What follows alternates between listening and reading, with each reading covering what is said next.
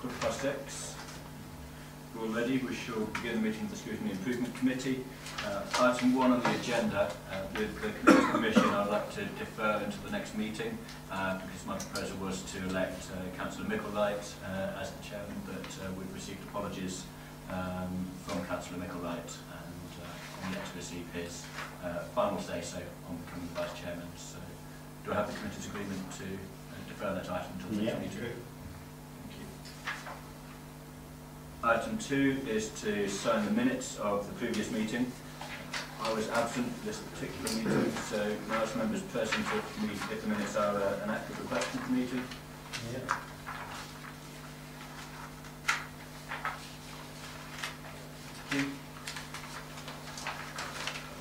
Item three is apologies for absence, uh, mentioned previously.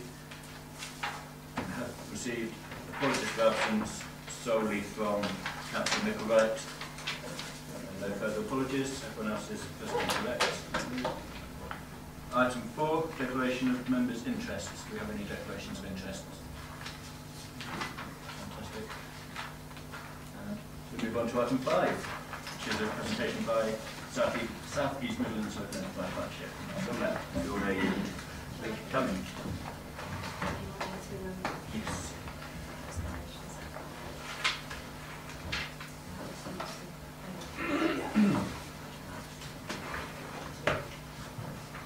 Well, my name is uh, Hilary Chipping and I'm at the moment the acting chief executive of the South East Midlands Local Enterprise Partnership. Uh, the previous chief executive, um, uh, Stephen Catchpole, uh, retired just before Christmas um, and so at the moment until uh, a a recruitment process is put in place, um, I'll be the acting chief executive. Previously I was deputy chief executive and at the moment I'm, I'm covering uh, both roles. Um, so thank you very much for inviting me here this evening. And um, I, some of you will remember I, I, I, I came previously, um, and at that time uh, Enterprise Partnership was, was, was still in place, uh, and Joe Lappin and I did a, did a presentation then. Um, but now the South East Midlands LEP covers the, the whole area, so I it'll be easy to sit down. Is that, yes, can we get that? Absolutely.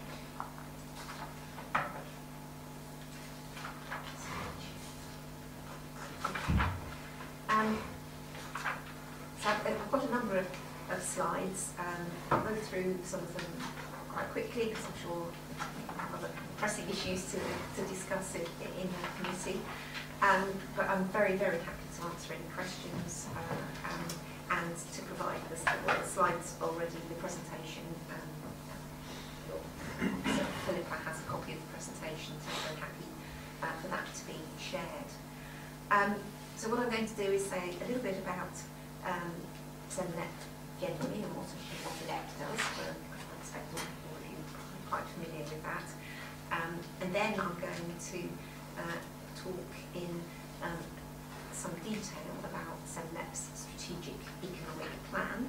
Um, strategic economic plan was um, revised and launched last November, and some of you may be familiar with that. There's a, a, a sort of summary document which is available on the website, um, and if anybody would like those, I can arrange for some hard copies to be, to be sent so that you can have a, a, a sort of summary of the strategic economic plan. Um, right, let's see.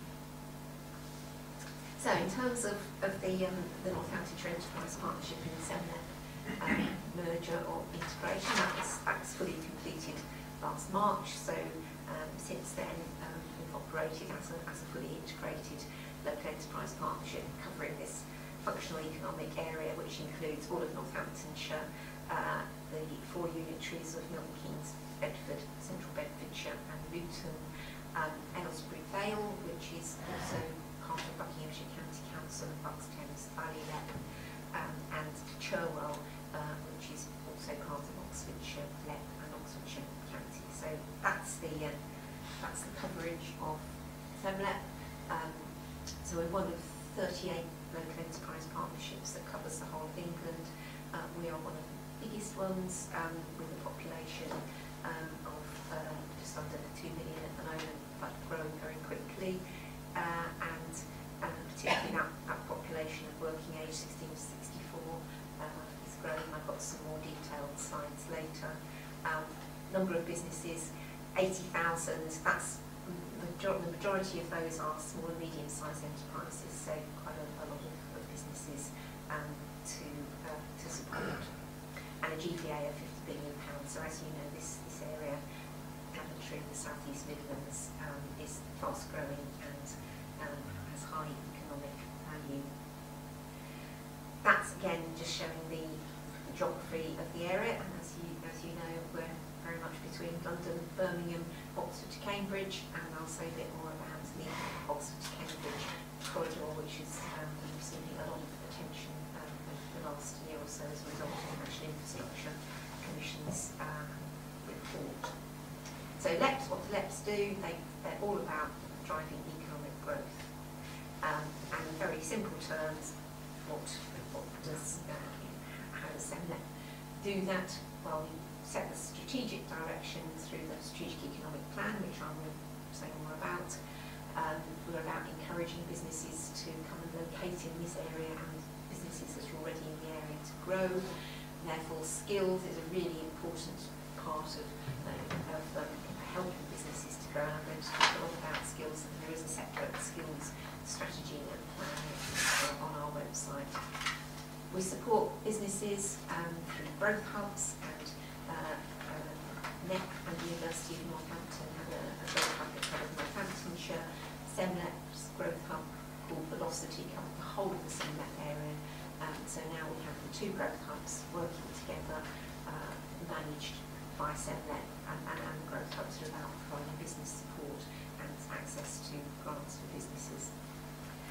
Local Growth Fund is the big source of capital funding that, um, that, that government has provided to, to LEPs um, over the last three years. There have been three rounds of that funding, and we now have a programme of £265 million, 35 projects. Uh, and we have enterprise zones and um, one in Northampton, the, the Waterside Enterprise Zone, and one in Luton based around Luton Airport. So in terms of the Local Growth Fund, uh, as I say, 35 projects.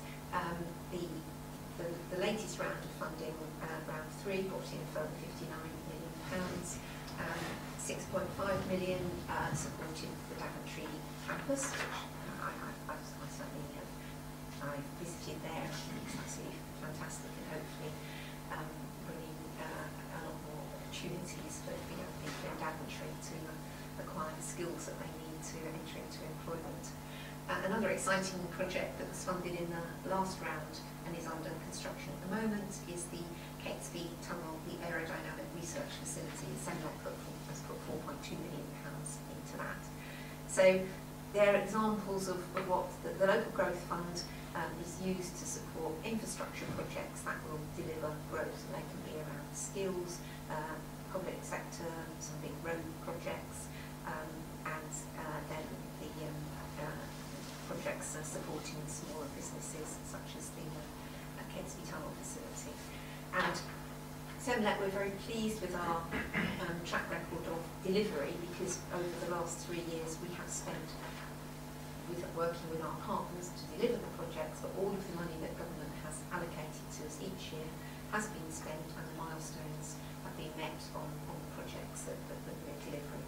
And there will be challenges um, as we go through the next uh, two to three years because the, the, the um, local growth fund uh, uh, resources take us right up to 2021 and for understandable reasons the government um, is that all of that money has to be spent within that period and some of our bigger, particularly the bigger transport projects will be spending uh, a lot of money uh, potentially towards the end of that period. So there's quite a big role in terms of managing that local growth fund. So I shall now go through a, a strategic economic plan.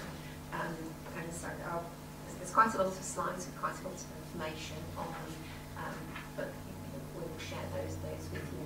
But I think what I want to give is a sort of overview of Southeast Midlands and then um, with some, some specific information about um, how Daventry fits into the South East Midlands and what SEMLEP has, delivered specifically in, in Daventry. So in terms of the, the mission of the Southeast Midlands, um, as it says here, to build our reputation as a premier location for growth, innovation, creativity and world-leading it's always quite very difficult to sort of summarise in a sentence or two, um, particularly an area as, as, as big and diverse as this. But I think that's the that's what's special about about this area, uh, and I'll explain a bit more about what, you know, why that is uh, that is the case. So in very simple terms, this is our strategic economic plan on a page. What do you do to in order to deliver economic growth? You need to focus on businesses, so we're about growing businesses, providing business support, um, attracting uh, investment into the area uh, and increasing um, trading activity. We're about growing people, so skills absolutely vital. Um, our business uh, survey shows us that it's, it's always one of the one of the key issues um, for, for businesses is can they get the, um, the the employees that they need with the right sort of skills. So that's absolutely um, a top priority. And as the first bullet point says, to deliver an employer-led approach to skills. So this is about understanding what employers need and then helping um, schools and colleges to provide those those skills to young people so that when they when, when they have their acquired their qualifications uh, and have a, a, a route in, into employment and apprenticeships are very much uh, a part of that. And then growing places. So uh, this is a fast growth area. We need to ensure that as well as there being enough jobs uh, for people, um, people need somewhere to, to live, they need the infrastructure in order to enable that growth. So infrastructure is not just about, about roads uh, and rail and uh, utilities, it's about the social and the community infrastructure. So you need schools and hospitals and, and leisure facilities and, uh, and a nice environment for, um, for people to, to live and work in. Uh, and these some of the bigger infrastructure projects that the National Infrastructure Commission drew attention to, such as East West Rail um, and the Oxford to Cambridge Expressway, um, if they are delivered in a way that links them into the rest of the area, um, has the potential to, to, to, to really um, deliver uh, significant economic growth across the whole uh, whole of the South East Midlands, including Northamptonshire. May I interrupt a moment? Just Yes. a good question. Um, specifically on the first bullet point under growing people, uh, talking about delivering an employer-led approach to skills attainment, Yeah. how do you ensure that the projects or the companies that you're providing funding to actually do comply with that? Is that uh, contractual requirement uh, before you provide funding or how is that ensured?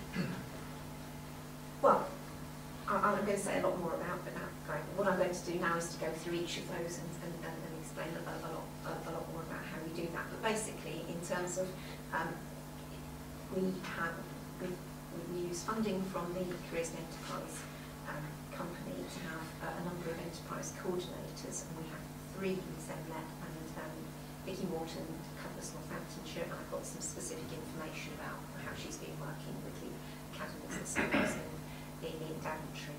Um, we have uh, um, put together a, a very detailed evidence base which identifies where the, um, the, the sectors that are important to this area, where the skills gaps are. So we've got a, a, an overview of, of the sorts of skills that are needed, and then in terms of encouraging young people to acquire those skills, as, as you say, we need to ensure that, that the colleges and the schools and the universities are providing uh, the, the, the appropriate courses, but more, more importantly perhaps we have to encourage young So working, working with schools, and, and you know, you, you can't start early enough with, with, with children, and particularly uh, encouraging, um, for example, young, young women to acquire the skills that they need um, to enter um, to, to uh, construction and engineering sectors, which are really important for this area. So a lot, a lot of work around quality and, uh, and diversity. We have, um, say, there is a detailed skills strategy, and we've also uh, recently um, established a skills board where we bring representatives um, from business organisations and individual businesses. We have um, a, number of private sector board members on, on the SEMLEP board, uh, and we have then representatives from the universities and, uh, uh, and colleges. So it's a there's no simple answer, um, and it's, it's not a contractual issue, it, it's around working across a number of different strands. So, so I'll, take each of those three and then, then go through a little bit about the evidence and then a little bit about what SEMLEP's strategic approach is to, um, to, to, to, in this case, growing businesses. And this is a, a statistic that I think people across this area should be very proud of in that at the um, at the left-hand side of the chart you can see that uh, what, um, what this chart shows is the percentage of businesses that are engaged in product or service innovation. Um, and when this information was collected, Northamptonshire Enterprise Partnership and South East Midlands um, were two separate organisations, but they were both at the, at the top end of the scale. So this really, this is the evidence that, that, that shows that this is an area um, with, uh, where, where innovation commercialisation um, and growth.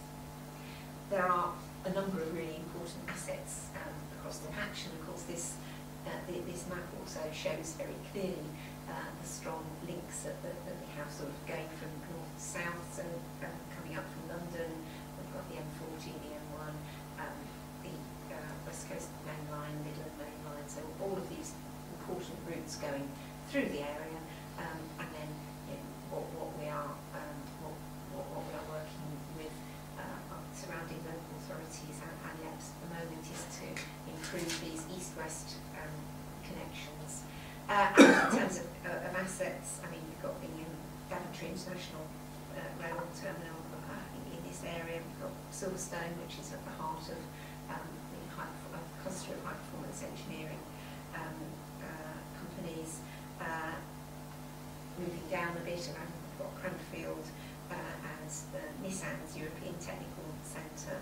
So lots, just lots, lots happening across the whole patch, which means that there are opportunities for companies to test out new and innovative products, which will then hopefully lead to um, uh, in, enabling businesses to grow. So, just as I said at the beginning, there's a high proportion of small and medium-sized enterprises in this area, and one of the things that we're focusing on is, is helping those to scale up, those that have the opportunity to, to, to really grow and um, take advantage of, of the skilled workforce in this area and hopefully improve productivity. The sectors that, that are particularly strong across the whole area and logistics, which is which is third of our key showcase sectors, is particularly important uh, in, in Daventry. Um, and this this this is um, the, the, this diagram shows location quotient. So basically, you've got a figure number above one, um, then there's a high proportion of those types of companies in this area. In this case, it's the South East Midlands compared with England. So, um, and the, um, the, the sort of turquoise to dark grey uh, bars show movement from 2009 to, to 2014, so that you can see that in the logistics sector, for example, um, that, that uh, the employment the employment quotient has, has increased in 2014, so it's even more important to the area. Manufacturing and advanced technology, high performance technology, and at the other end, the creative and cultural industry, although that's that, that's not showing such an increase as the others. And of course the whole Slight decrease. slight decrease, that's right, yes, yes, slight decrease. And we've we've looked into that, um, and I think it's um, that sector as, as a whole, if you look across England, has, has grown very rapidly between 2009 and 2014. So I think it's it's, it's okay. It's not it, it isn't showing the advantage relative to England, but it is it is a fast growing sector. It's a fast growing sector across the whole of England. And in fact, if um, what I think is quite an interesting area to look at in terms of, of, of, of sectors, and then we'll come on to skills, is is that whole creative and digital sector is going to have an influence going through all of the other sectors. Uh, and it is a great, a great part of the country to set up uh, a business. Uh, higher, higher than uh, the national average business birth rates, um, and businesses uh, survive uh, at, a, at a, a better rate compared with, um, the national average. And also it's, it's as an area, uh, uh, we, we export a lot of goods, about six, six billion pounds of goods exported, and five billion pounds of services exported. So there's a lot of opportunity in, the area, but you know, there's always improvements that, um, that, that we can make. Clearly the whole Brexit issue hangs over us all at the moment. Um, and what this uh, diagram shows that um, Excuse me, can I just go back to the last slide? What does FDI stand for? foreign direct investment, sorry, Okay. sorry, I should, should have explained that. Sorry, it's a bit of an, uh, acronym that um, government, uh, the um, Department for Industry and Trade, as they keep changing their acronym as well. Thank you for asking. Um, yeah, so foreign direct investment, uh, which is the, the top part of the, uh, of, of, the, of, of the diagram. Um, a big proportion of, of those um, coming from, from the United States, although I understand from my colleague that, that focuses on, on, on business development, that that has fallen off a little bit most recently. Um, and then in terms of, of exports, uh, Germany is really important for us at the moment, so clearly you know, we, we need to um, ensure that uh, relationships uh, with other um, at the moment EU countries are remain as positive as as they can in, in, as we move into a, a different environment. So clearly there, there are challenges there. You say that the FDI from uh, America has fallen slightly uh, recently. What, what's the trend tended to be across the other uh, countries that you listed on there? I, I haven't got that information. It was a particular um, trend that, uh, as I say, my, my colleague that focuses on these figures drew attention to as, our recent inward investment group to a slight concern that um, we haven't got the full set of information, but, but he noticed that uh, uh, that, that um, inquiries coming from, from America have, have fallen off slightly. Who knows whether it's the political situation in, in the States or could, could be other reasons, but that's certainly something that we will keep, keep, keep a close eye on. So just to summarise, um, the whole the, the sort of strategic approach to uh, growing businesses. Um, so as we move on to, you'll be aware, I'm sure, that the government uh, published its industrial strategy at the end of November, uh, and that the next stage will be uh, for um, areas to produce their own local industrial strategies.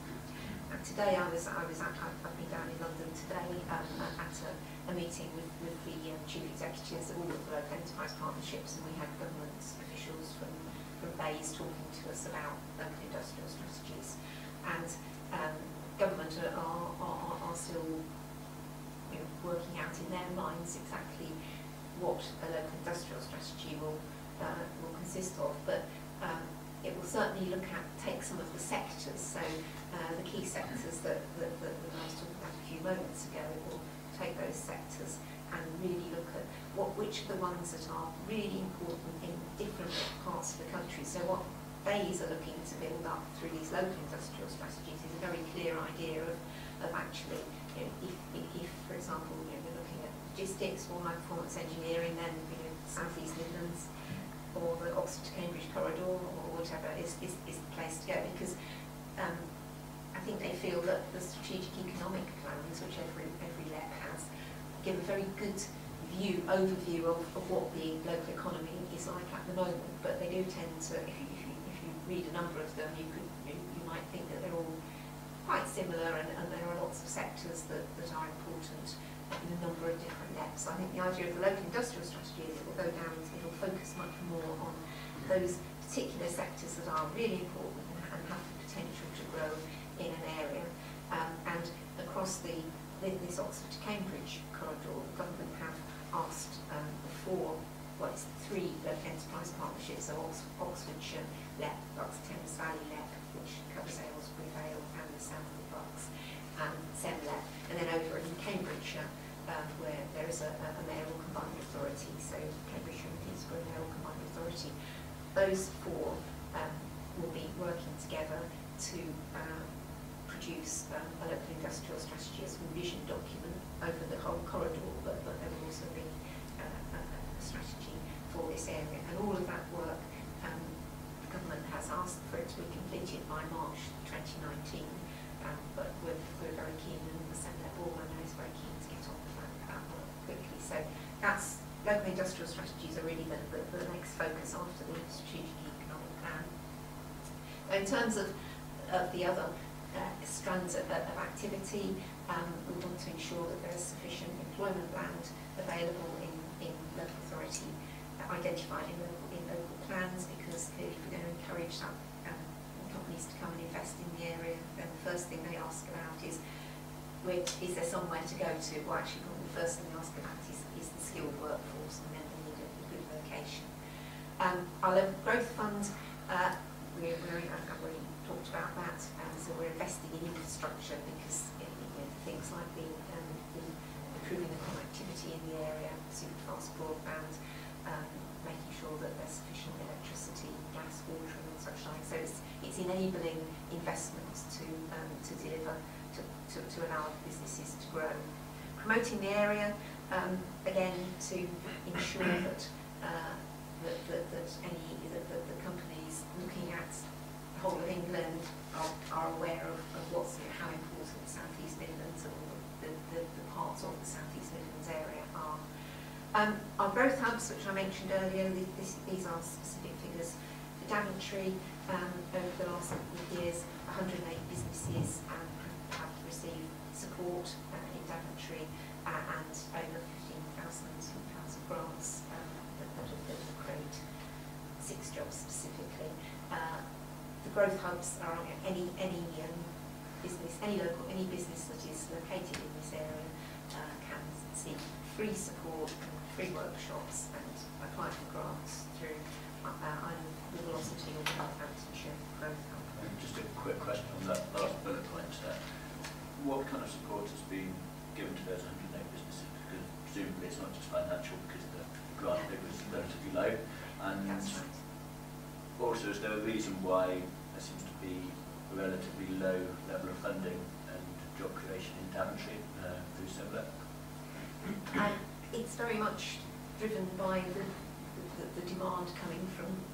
Any, any, any business um, can apply for a grant uh, and can receive support from our business advisors. So um, there's, there's, there's, we have, um, in fact, in Daventry, as I say, have access to the Northamptonshire Growth Hub and the Velocity Business Advisors who do their best to publicise um, this, uh, thi- thi- thi- this free support. And what the support consists of is one-to-one advice, so you can have, you know, sort of, we, in terms of the targets that, that we have to meet to get the funding, because this, um, this is a, a, a project funded by um, European funding, uh, so there are particular targets around providing four hours of support, 12 hours of, of free support, um, work, free workshops which might be around business um, business planning or um, uh, website, how, how, to create a, a website or how to use social media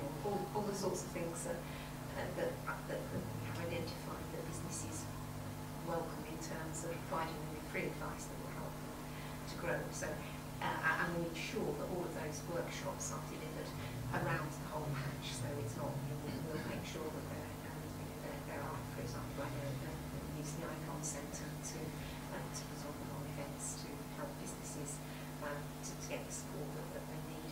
And, and the grants, I mean, the grants um,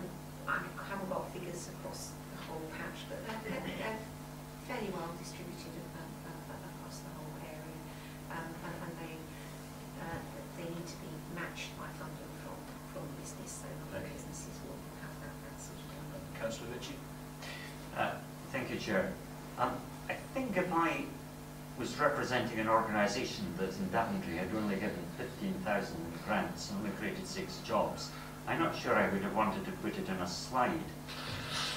Um, is there somewhere on your website or somewhere um, some sort of table that gives an analysis of how many applications have been received from different areas and what the rates of success are. Um, you know, my concern is that, yes, you focus on some areas. If you focus on some areas, it means that there are other areas in which you decide not to focus. And I, you know, I, I, th- th- there are naturally going to be concerns in an area like Daventry, which on the map just squeezes inside your, your boundary and no more. I, I just wonder if there's any you can to, to give us assurance that Daventry, you know, that Daventry is not going to be regarded as being um, just an area that, that, that makes up numbers.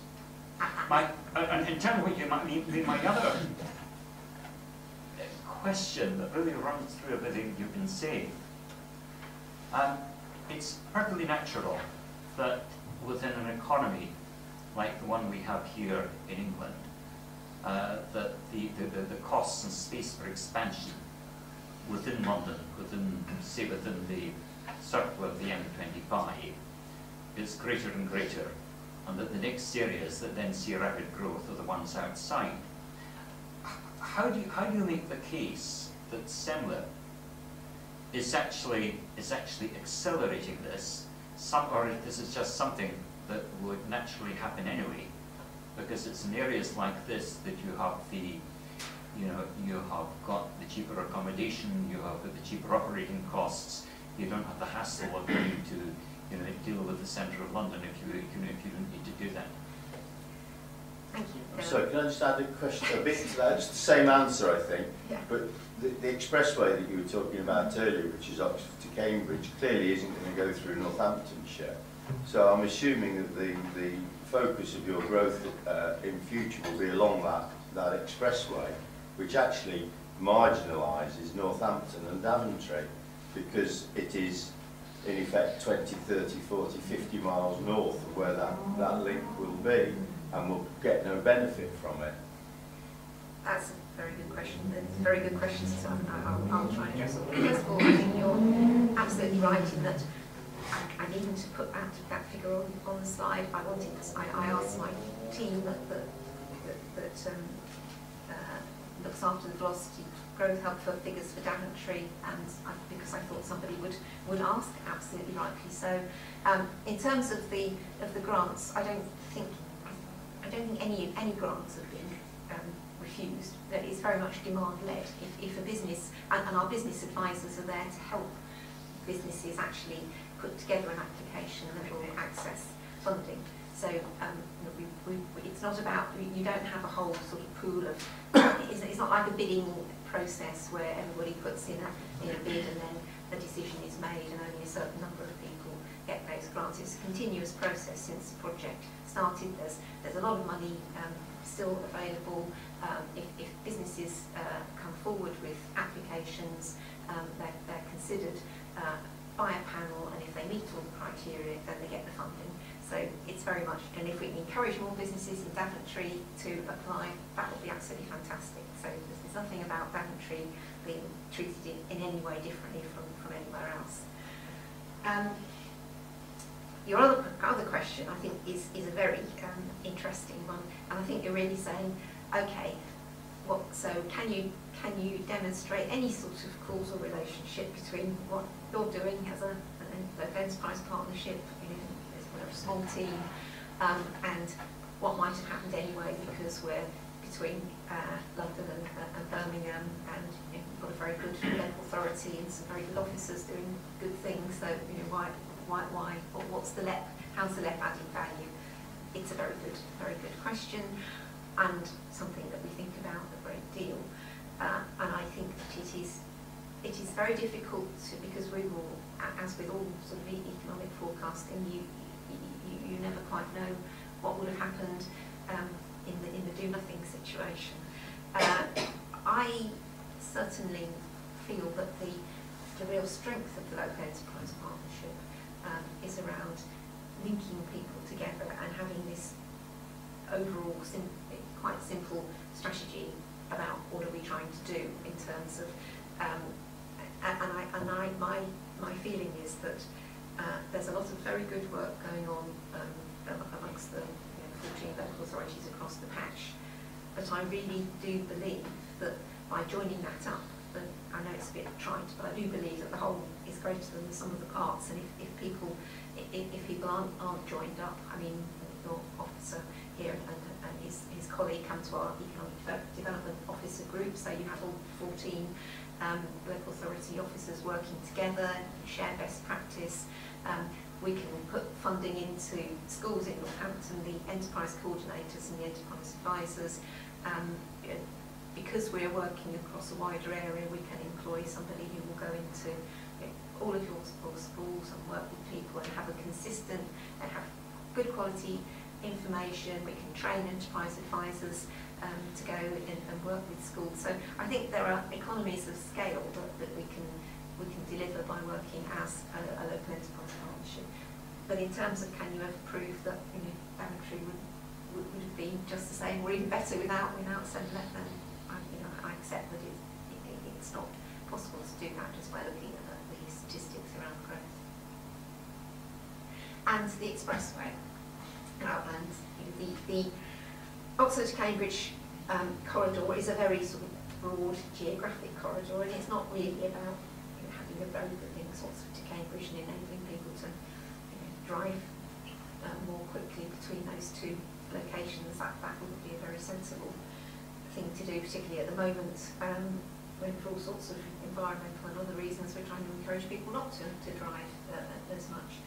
Um, I mean, that, I think that's just one piece of infrastructure that, that what, what it's what the whole sort of corridor initiative is about is about improving connectivity and drawing people um, the the advantages um, that, that Cambridge and Oxford have and their economy is overheating and I'll go on in later slides to look at what's happened to the housing market in, in Oxford and Cambridge. So there are huge opportunities to bring some of that, that growth into this, this area. And Daventry is very much part of that. And I think, uh, and I'll also say a bit more about the linking up to um, the big pieces of infrastructure, this so-called first mile, last mile work that the National Infrastructure Commission are, are, are, are interested in.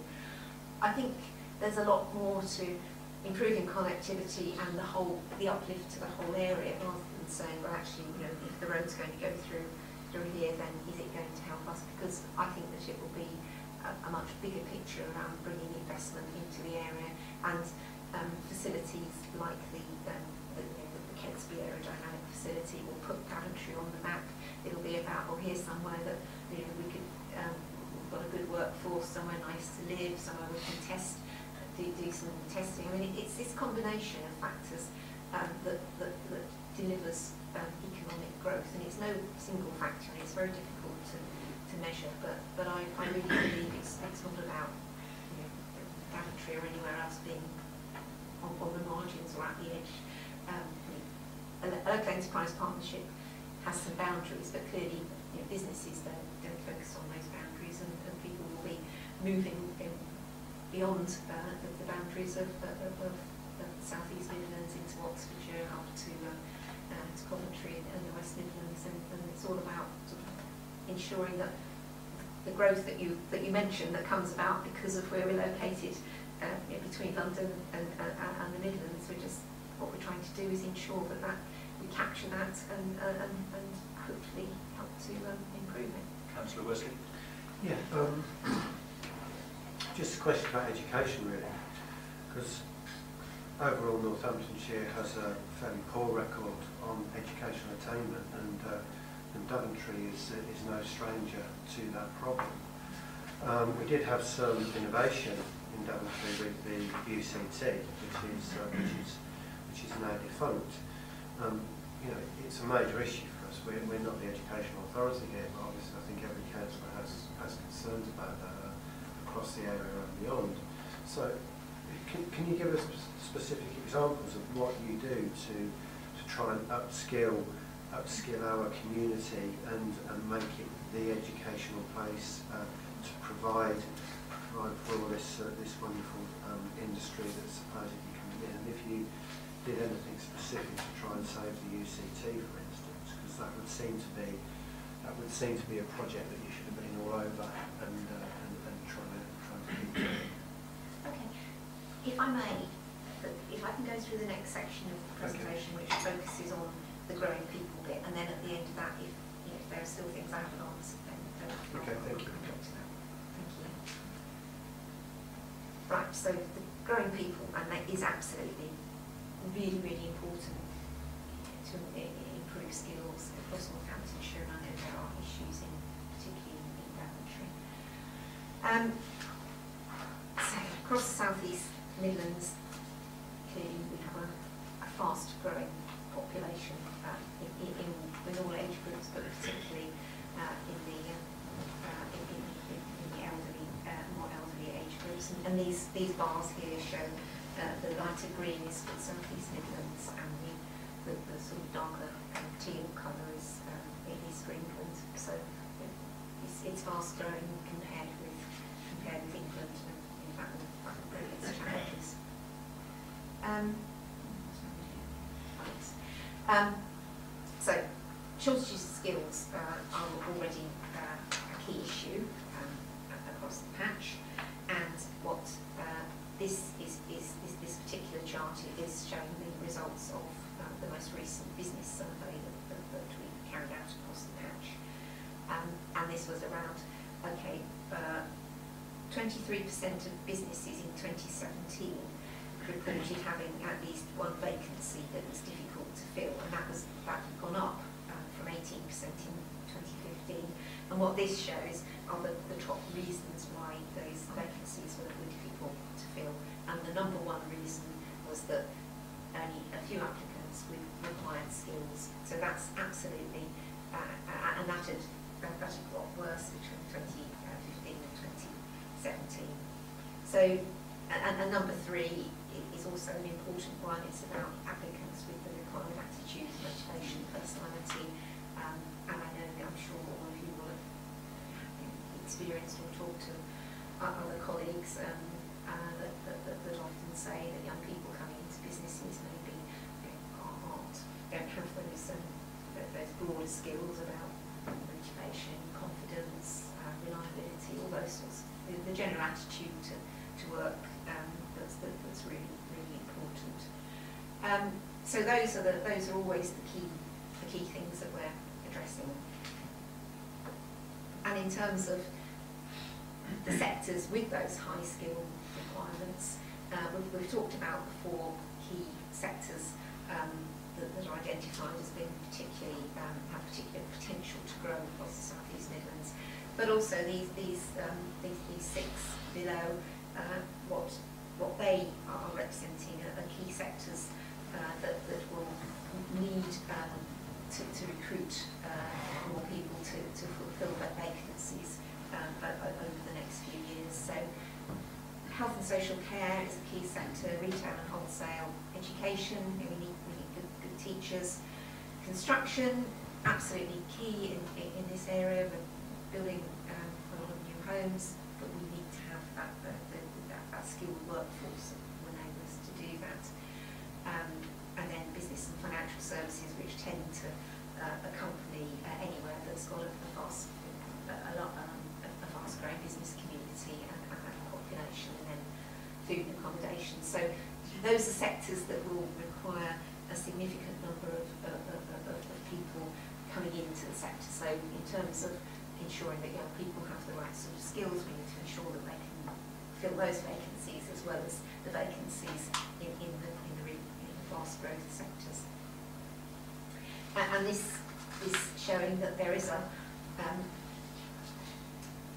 that there's a, a, a projected level of, of requiring even higher skills um, as, as, as, as we move forward. So at the moment, um, so current projections are that over 65% of required jobs to 2024 will require a level 4 qualification or over. So again, that just emphasises what, what, what you, you know, what, what you just said, that in, this area it's really important to ensure that people do have those higher levels of skills in order to access the, uh, the jobs that will be already coming. On that, um, to what extent do you think that that is fueled by the marketisation of education and jobs which previously weren't degree level jobs, such as nursing, actually now becoming degree level jobs and greater diversity of degree, uh, degree qualification generally? That's a very good question. Um, I think, um, and I don't have any specific um, pieces of evidence around that, but I, but I think that, I think that it's not, I don't think it's, it's, it's much um, jobs that uh, previously didn't require those, those qualifications actually now requiring them. I think that, that there are a lot of jobs uh, that um, are require higher skills because we're moving into the area, for, for example, uh, using tech logistics, which is a sector that's important in, this area. There'll be a lot of jobs that require, um, uh, in, in order to understand the, the software that's needed uh, to, to, to, uh, um, to, to you sort of man- managing a warehouse which is often automated and needing to understand uh, how you know, journeys of that need to be made by the by the vehicles and such like. It's not it's not a, it's longer a, it was a simple job, but it's becoming increasingly uh, requiring technical skills. So I think I think whilst there's a bit of what you were suggesting that maybe jobs that previously didn't require um, high, high qualifications do now, partly because uh, more, you know, look across the whole country, more young people are actually going to university, therefore there are, there's a pool of people with, with university degrees and therefore a certain number of jobs for, for those young, young people to slot into. But I think there's a there's, there's definitely um, a, an increase in the types of jobs that will require those those higher qualifications. Um, so again, this is just sort of summarising the approach, and, and then I'll come back to to, to the question that, the councillor uh, raised. So what what are we trying to do about about that? Um, working, I mean, in, in simple terms, nothing ever is simple in education, but but what we what we want to try and do is ensure that that, that young people are keen to acquire skills, these high level technical skills that they will need in order to go into um, the sort of jobs that will be fueling growth in the economy in this area. So how do you go about that? Um, this increasing uh, employer engagement with schools and colleges, and, I, I'm sure that as a local authority, um, I'm sure you've been working with local employers, encouraging them to uh, to go to go into schools and talk to young people and, and, and them. What we're offering um, with um, some support from the Careers and Enterprise Company, but also some funding from SEMLEP, is a, a programme which, I mean, I, I heard, I was down in London today, I heard from the Chief Executive Careers and Enterprise Company, and had examples from LEPs all over the country in terms of what, what they're doing. So there is um, a, a, a programme that, that will now identify uh, these enterprise advisors who are um, people uh, in work who give up their time to go into schools and um, work with uh, with young people. But in order to help to do that, clearly you can't just have anybody wandering into a school. You have to have uh, a, a way of approaching the head teachers. You have to ensure that everybody um, has, has the proper checks, and you have to ensure that the that people actually know what they're doing. So we, we give them training, we give them um, uh, a, a set of a, a sort of toolkit so they know what to suggest. So it's it's around how do we help to get that um, increasing engagement between businesses and schools and colleges. And I think that's absolutely critical to ensuring that, that we do end up with, with the right sort of skills. And this, this um, the first bullet point about labour market information, you know, how, how many young people, perhaps you know, if, you, if, if you went back five or ten years, didn't really think too much about the career that they wanted to go into, um, and then perhaps did the subjects that, that they found most interesting or enjoyable, or they, liked the teacher or whatever, and then coming out at the end, with a university degree, oh, actually, you know, it's very difficult to get a job. Oh dear, if only I'd had that information you know, when I was making those decisions about you which GCSEs to do, you know, uh, that would then um, lead onto a, a path into uh, into employment. So we really want to ensure that, that all young people across the whole area have access to that information. Um, and and then the, the last one, well, the, the investment I already talked about in terms of you know, the, the Daventry campus, for example, money into um, uh, particular uh, colleges focusing on, uh, for example, engineering and, and the skills that match the sectors that are important to this area. And then supporting people that are already um, in employment. You know, it's really important to ensure that people continue to acquire skills, um, particularly with the ageing population that, that we saw on the, uh, on the graph earlier. So I, I asked my, um, I, I have uh, somebody called Paul Thompson, who looks after the skills across the whole of Semlep, and Vicky Morton, who is our Northamptonshire Enterprise Coordinator, just for a, a few examples of, what, of what they've been doing recently in, in, the area, um, working with the, with the um, academies uh, and trying to um, encourage uh, teachers to see the of actually having, uh, you know, being part of this enterprise um, coordinator, enterprise advisor network, um, and uh, this evaluation tool that's, that- that's talked about there. One of the, um, again, having, working with the Careers and Enterprise Company, we, we have a sort of national pool of, of, of data and research, and um, there is some uh, research which demonstrates that actually it can be just a, a few, if a young person has that direct contact with a real business, a real employer, maybe only three or four times whilst they're at school, they're much more likely to end up getting a job and not ending up as one of these um, young people without any uh, um, education or, or, or, training. So there's a uh, there- there's a really high correlation between having that that contact and actually hearing from somebody face to face, because that tends to be how young people learn about what's it like to, you know, we don't know what logistics is, but if somebody comes and explains, you know, and, and, and gets them to think about, well, you know, where was where was your mobile phone made, and how did it get from where it was made to,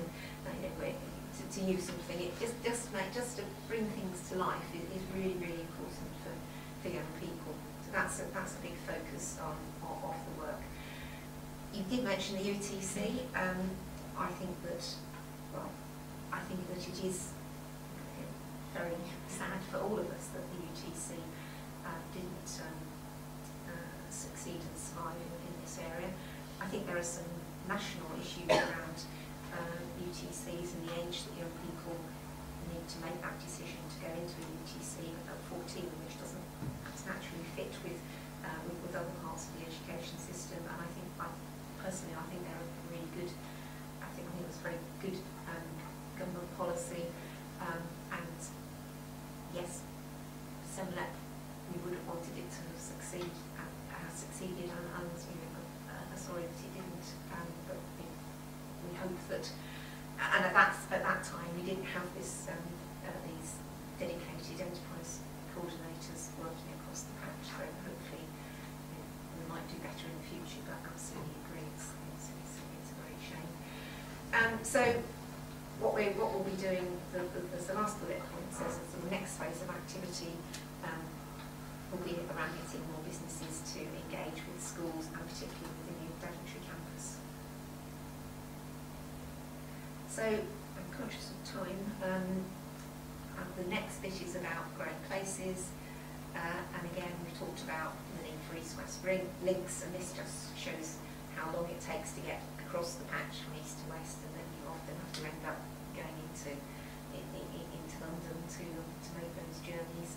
Uh, and similarly, road journey times are, are, are very, it takes a long time to get from you know, one end of the corridor to another, if that's um, a- although a, only a very small percentage of journeys actually involve going from Oxford to Cambridge, what is important are um, is that connectivity in, in between, uh, and, and then the links uh, from, as, as, as, you, as said earlier, actually from through the, the local road network, actually getting into that uh, into that corridor. And this, this, this really just shows that uh, again there are a number of, of north um, north-south corridors radiating out of London through this patch, um, and that actually if the opportunity of linking um, across uh, uh, across the corridor uh, has the opportunity to, um, to, to, to lead to, um, to, to large, uh, to, to significant economic growth. And, and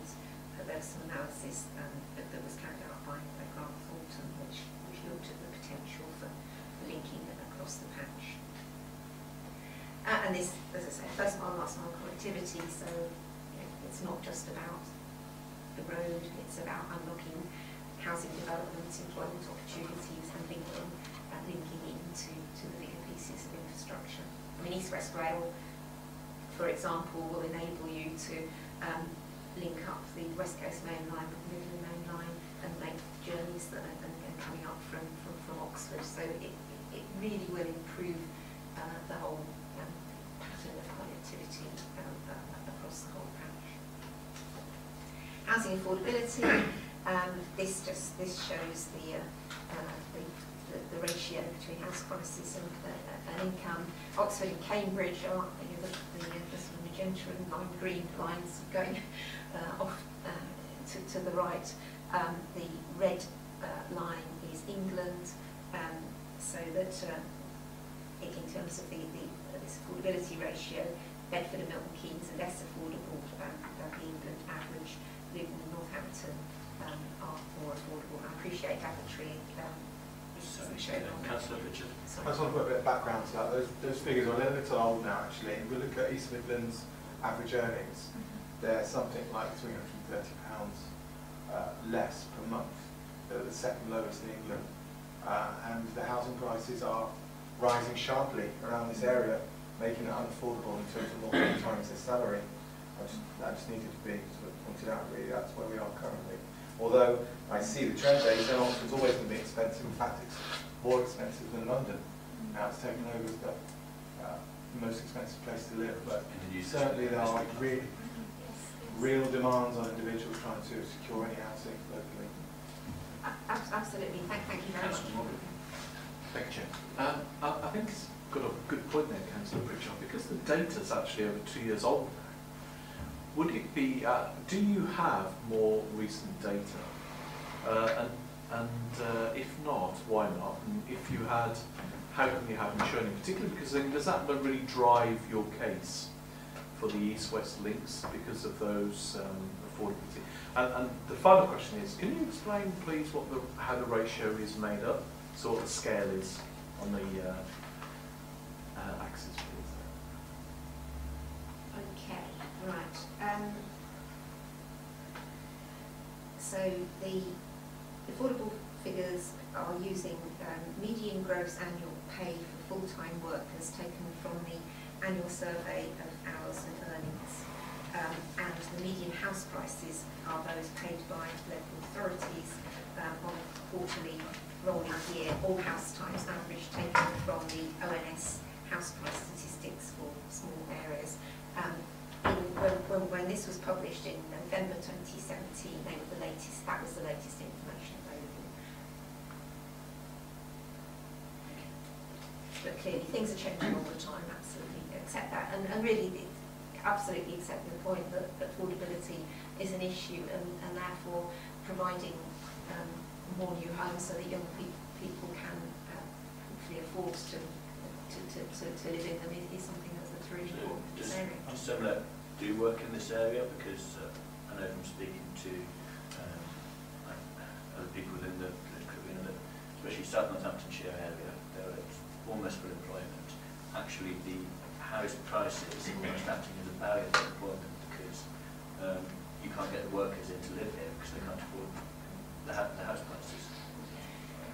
What SEMLEP does as a local enterprise partnership is very much work with our local authorities, so in, and their local, local plans. So we don't have any um, responsibility around housing, but clearly, as I said earlier, having sufficient housing for people to live in is an important part of, of the, the So economy to you monitor the situation rather than We, we monitor, we, we, fair to say? we, a bit more than that, we, we monitor, we identify um, the challenges to, to growth, we work very closely, I mean, I, I have of planning uh, authorities on a regular basis, uh, and we look at um, the, how uh, the, the, completion, the figures for completions for new homes relative to consenting new homes, and then what are the challenges, so for example, electricity capacity is a big, is a big um, challenge for a lot of, uh, a, lot of developers. So then SEMLEP, we take that as an issue. Uh, we, we had a meeting with Ofgem, we've looked at the regulatory position, um, we've talked to the National Infrastructure Commission. And, and we've sort of, so what we try to do is, is identify the challenges, so what's getting in the way of, of, of delivering those, those new plans, and then we, we, we try and bring those to the attention of the governments and, and to try and do things working with our local authority partners to try and improve the situation. Um, and what this shows is that because the national infrastructure Commission's report, I think, looked looked at sort of averages across the whole corridor and implied that um, we weren't delivering um, collectively sufficient homes uh, to, to meet need. And what, what this um, the, these bars show is the uh, the, the sort of teal coloured one on the left is projected household growth. Um, the, the, the next one along is uh, the measures, the, of the measure of objectively assessed housing need taken from all of the authority plans. The next one along is, is what, um, let's call it MHCLG now, but they, they published their um, proposed government measures of housing needs, so that, that's a bit higher again. Um, but then the magenta um, bar on the left actually shows that across the South East Midlands, as, as opposed to across the whole corridor, you, know, you are collectively um, already planning to, to deliver uh, a bit above that um, and certainly well above household growth. So there's an awful lot going on already. Um, the National Infrastructure Commission, if you, you know, it, their um, suggestion that a, a million new homes could, could be um, delivered by, by 2050 across the whole corridor, that would require um, an increase in terms of the annual homes delivered from about about, uh, about the 20,000 um, uh, a year across the whole corridor that are planned at the moment up to about 30,000. So an absolutely huge, huge increase, and that's when people start talking about new settlements and uh, all, all sorts of other, other ways of, of delivering such a, such a huge increase. Um, I mean, I, I think, just go on to that next slide, which, which talks about how it's not always easy, isn't easy to deliver, deliver the, the, um, planned new homes. The government recognise this with their, their white paper, know, fixing a broken housing market, um, and uh, a number of the issues that do get in the way around insufficient upfront, upfront funding, um, the lack of joined up government we, we, we find as a LEP that we're talking to BEIS, we're talking to um, MHCLG, we're talking today, we, we, we're talking to DFE, they tend to not come out and talk to LEPs a, a great deal. So joining up government, um, trying to tackle some of these issues around electricity supply and, uh, and water, and then in, in terms of funding, we keep making the case to government that actually, in order to deliver the planned new homes, you need to have that uh, forward funding because often in, in order to provide the, uh, whether it's the, the roads like the Daventry Development Link or whether you need to put in um, uh, electricity supply up front, there needs to be a, a model of funding that provides that upfront funding to enable sites to be prepared and, for the developers to build and community infrastructure levy, um, new homes bonus, you know, the various policies that government has put in place have not provided that, that, that ability necessarily, although I know that there's some innovative things going on in Daventry, but that ability to forward fund the infrastructure is, is, is absolutely essential. Um, and then just, you know, finally, but also, but very importantly, um, not just about housing and about transport, social infrastructure is really important, digital infrastructure, energy, and green infrastructure. Um, and the, the last sort of cross-cutting theme uh, is very much around the social infrastructure and green infrastructure. Um, and just very briefly, this, this shows that uh, there are pockets of Councillor Morgan. information. Sorry. Thank you, Chair. Um, I'm struggling a little bit with your y-axes on these charts. Yeah. They're, um, can I give you some feedback? I think it'd be very helpful to us to have those labelled. Yes. Um, so this one and the previous one, there was no uh, units on there. So I have no idea at all what this means, this graph. Could you It- At At the bottom, it says, it says one equals most deprived and 326 is least deprived. So it's basically that the scale is going from 0 to 350 in terms of, um, it's a, it's an index, index of multiple deprivation.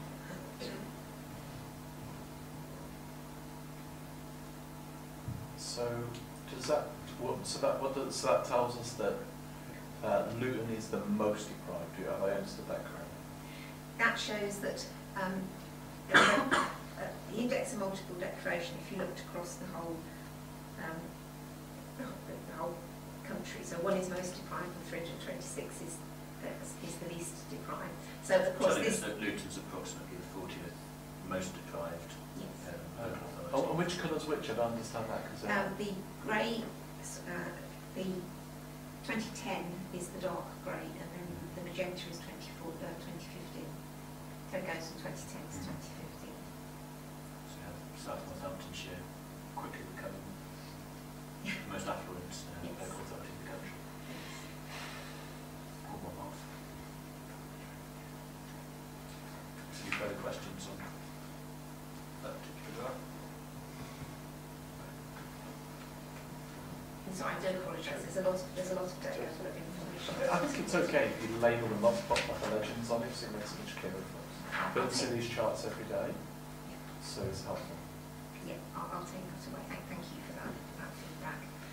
Um, and then this, this, so, this shows again the, uh, the, the, the whole area is, um, is very varied in terms of the, the the rural split. So this, these bars are showing the rural population as a percentage of total population, and so South Northamptonshire and Daventry um, are, are very high in percentage terms. So, um, yes, we could, we should have put a percentage on that, uh, on that so thank you.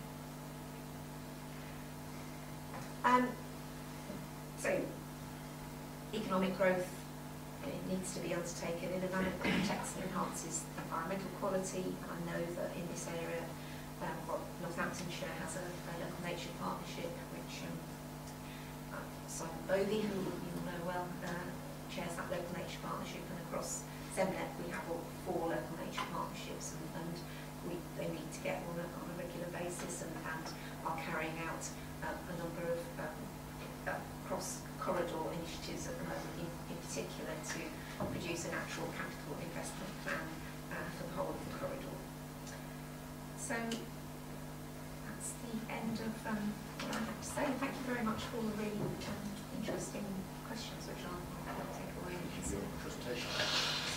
Any further? Yes, Councillor Pritchard. Sorry. Just about, I work in a um, education sector in universities, uh, with nursing actually, as Adam mentioned earlier, but also got insight into apprenticeships, training nurse associates. Um, my own children have taken different routes through education. You've got to understand that for anyone to be able to develop, to train, to be educated, they need that stability in their background. Uh, they need to be able to earn a wage where they can thrive, they can learn, and they can feel safe in doing that. And currently, when we're offering nationally apprenticeships, which are a pittance of trying to uh, manage to work these young people, that they will turn their back on education, knowing that they want to try and get out of parental homes by the age of 39, knowing that they want to just live day to day. Uh, and that is the biggest problem that is facing quite a lot, a lot of the areas in England currently. Uh, and that's Just why. the, the apprenticeship wages. Yeah, yeah, I mean, and meaningful apprenticeships, you know, and there are some meaningful apprenticeships. I heard someone, a businessman the other day on Radio 4 it was, incrementally developing this young person through a degree program, raising his wages accordingly, qualifications at the end, and guaranteed place with it as a, you know, qualified uh, electrician. And that is what apprenticeships used to be. Young people aren't going to go marching towards health and social care on four pounds an hour while they're trying to live day to day. Uh, and there needs to be some innovation. Um, we talked about housing. And I do feel that innovation is around about housing. Before, you know, going right back, meaningful apprenticeships was sometimes with the provision of accommodation and housing so they can be tied to that business and the business putting money in, into that to making sure that they're looking after their employees locally. Uh, and then they get on board with that. There's that understanding that you, quid pro quo, you, you live and you, you're developed and you come and work here as an apprentice lifelong if you wish uh, and develop. And if that doesn't happen, I think, you know, I, I agree that UTC model, oh, who came up with a model for a 14 year old to, I mean, it's a complete wrong model. Uh, you, it should be 16 and above uh, with the skills put in and focused on the age group. But that, those are kind of innovative things that we need to see happen. That's just one thing, one point. The other, the other point is Catesby Tunnel. It's following Adam's uh, point actually. We, we talk about the corridor. We're very lucky in terms of technical, technolo- technological advances and that high industry. Um, but we also are subject to brain drain. We develop these companies uh, and they become quite big, quite proficient, and then they're sold and they go abroad. And we lose all that technology.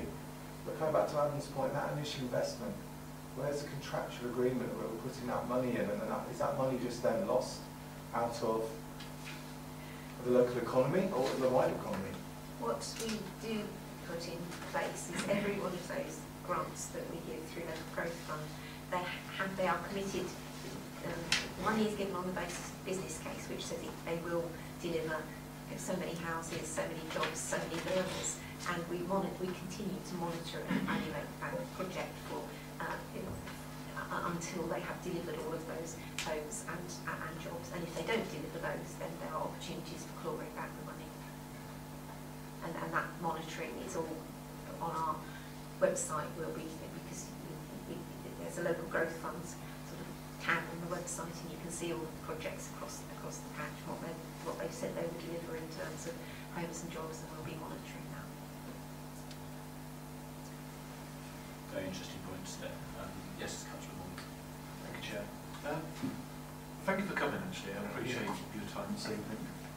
Um, I didn't entirely find the presentation that inspiring, uh, although it was very informative. Uh, I felt that uh, perhaps it lacked maybe an interesting case study which really demonstrated the work that you've done and seen through to fruition. I think uh, colleagues over here picked up on that one issue, you know, the investment in Daventry, 15,006 jobs.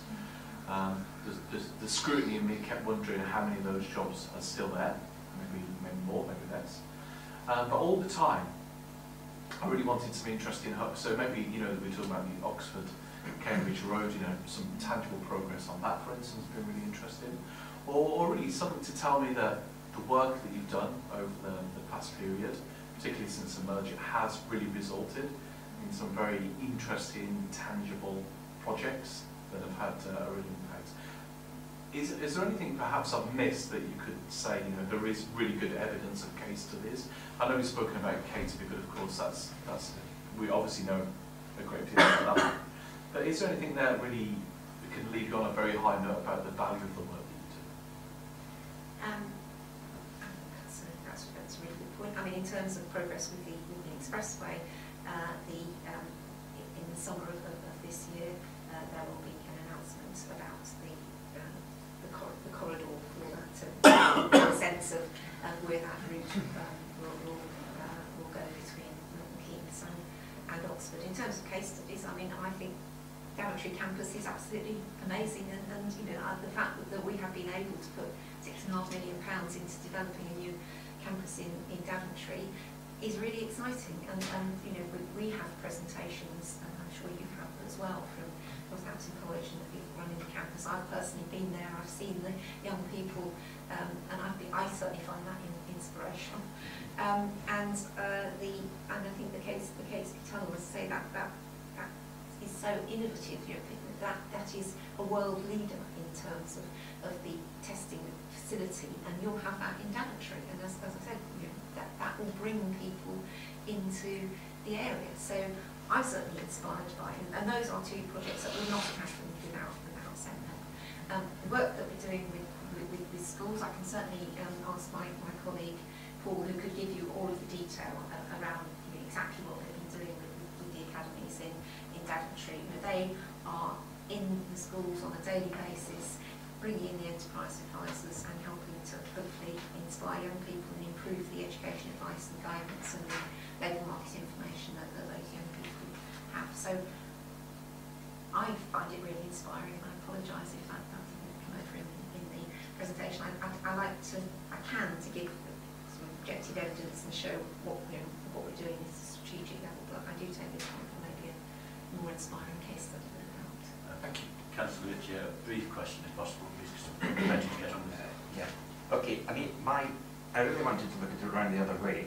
I mean, we here in Daventry have built the Catesby Tunnel, um, and that we have at the project, it can't be moved. The Catesby Tunnel is not here because of SEMLEP. although any, obviously, things that SEMLEP can do to exploit it, um, you know, are obviously good. I'm still not, I'm still not clear about what is the, you know, the real key advantages that Daventry is out of SEMLEP. But I wonder from your point of view, you are a partnership. Partnerships are rarely partnerships of equals. How does SEMLEP actually see Daventry? Um, does it see it as being a driving partner in it? Um, you know, what level of contact do you have with Daventry? If you were going to put Daventry um, on one of your scales in terms of its importance to SEMLEP, would it be down in the bottom 20% or the top 20%? Where would you place it?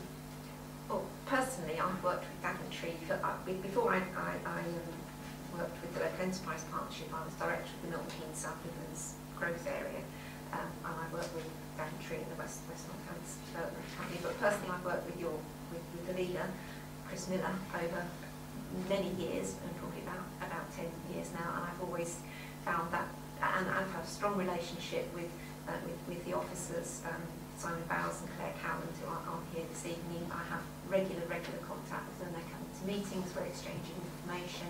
Simon Bovey, as I said, you know, he, I, I, I now see him a lot in Northampton as well. So I've always, my view of that Daventry is that it's a, it's a local authority that really knows what it, what it wants to do. Fantastic to work with. Ian Vincent as well, I see quite, I mean, I've, I've, I've, I've often come and talked to, um, to, to Ian around, particularly around the I skills think maybe. Councillor Ritchie was getting more at where do you see Daventry in terms of the strategic importance and uh, in terms of the pecking order rather than you know, the good relationships within council. I think that's part. I think I think that good relationships are really important because I think that shows that, that there's this huge potential in Daventry, and Daventry is, is looking out, outside uh, to work collaboratively with, with others across the patch, which I think will will bring that uh, that, that, that growth. Daventry is, I mean, in terms of strategic importance, I mentioned the, the, the Daventry International Rail, Rail, Rail Freight Terminal. Um, Daventry is very much a, a, player in, in in the whole economy. I mean, you know, I don't I don't have pecking orders. I don't say we are, Aylesbury Vale's different Daventry or whatever. You know, we are here to support all of our local authority partners, and it's a private sector led organisation to enable the growth potential that you, want for, for Daventry, and, and that we're here to support you. And say that the reason that I mentioned uh, the excellent relationship with your with your members and officers is because you know that means that as you said it, it's a partnership. We can help you because you you are very clear about what you want from us, and we try to do our best to provide it. Any follow-up, Councillor Ritchie? Thank you. Thank you very much. I think we've kept you on that. Thank, thank you very much. Thank you. Really interesting questions, which I, I will, I will reflect on. And if you need any, if you want anyone uh, to come and talk specifically about skills at any point, then very happy to do that. If you'd like um, some copies of this, I can, I can send them to, um, to, to the officers. But they are on the website if you and the full strategic economic plan uh, with all the evidence base as well. So thank you. Thank you.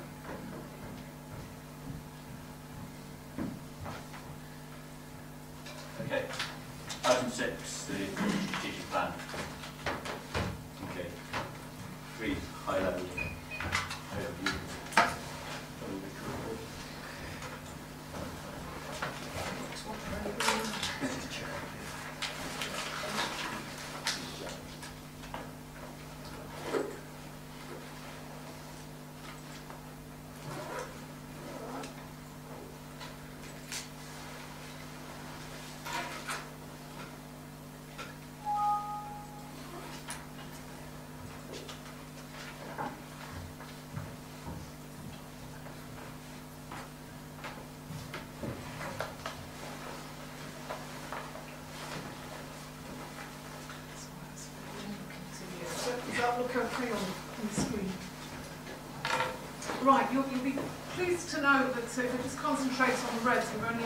Two rates.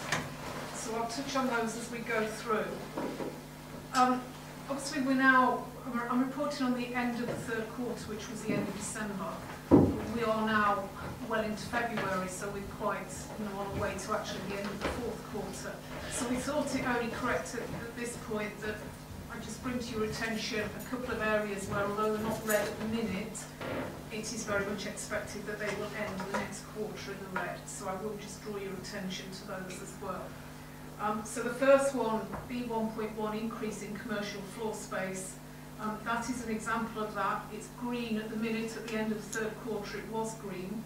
You'll note there that the, um, that the target goes up for the end of uh, the year, and it was anticipated when this, this, these targets were first set that that would be achieved. Um, just to bring to your attention, um, PSP LLP has now ceased work on TCV Site 3 and, and it's now for DDC to deliver that. So it will not be possible to achieve planning permission before the end of 2018.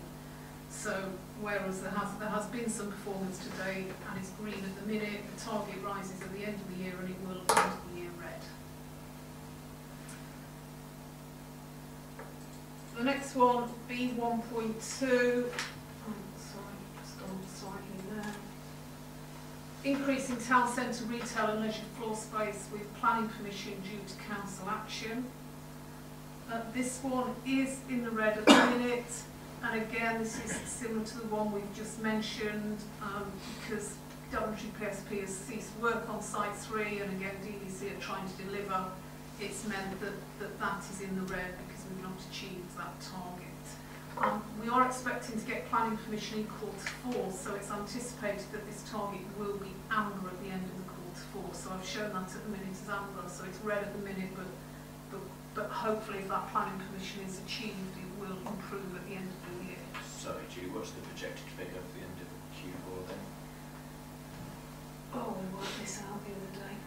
Um, off the top of my head, I couldn't sit and work it out. Oh, I, I can. It's the difference between 13,280 and 12,780. So it's, it's believed that extra bit will be achieved at the end of the year.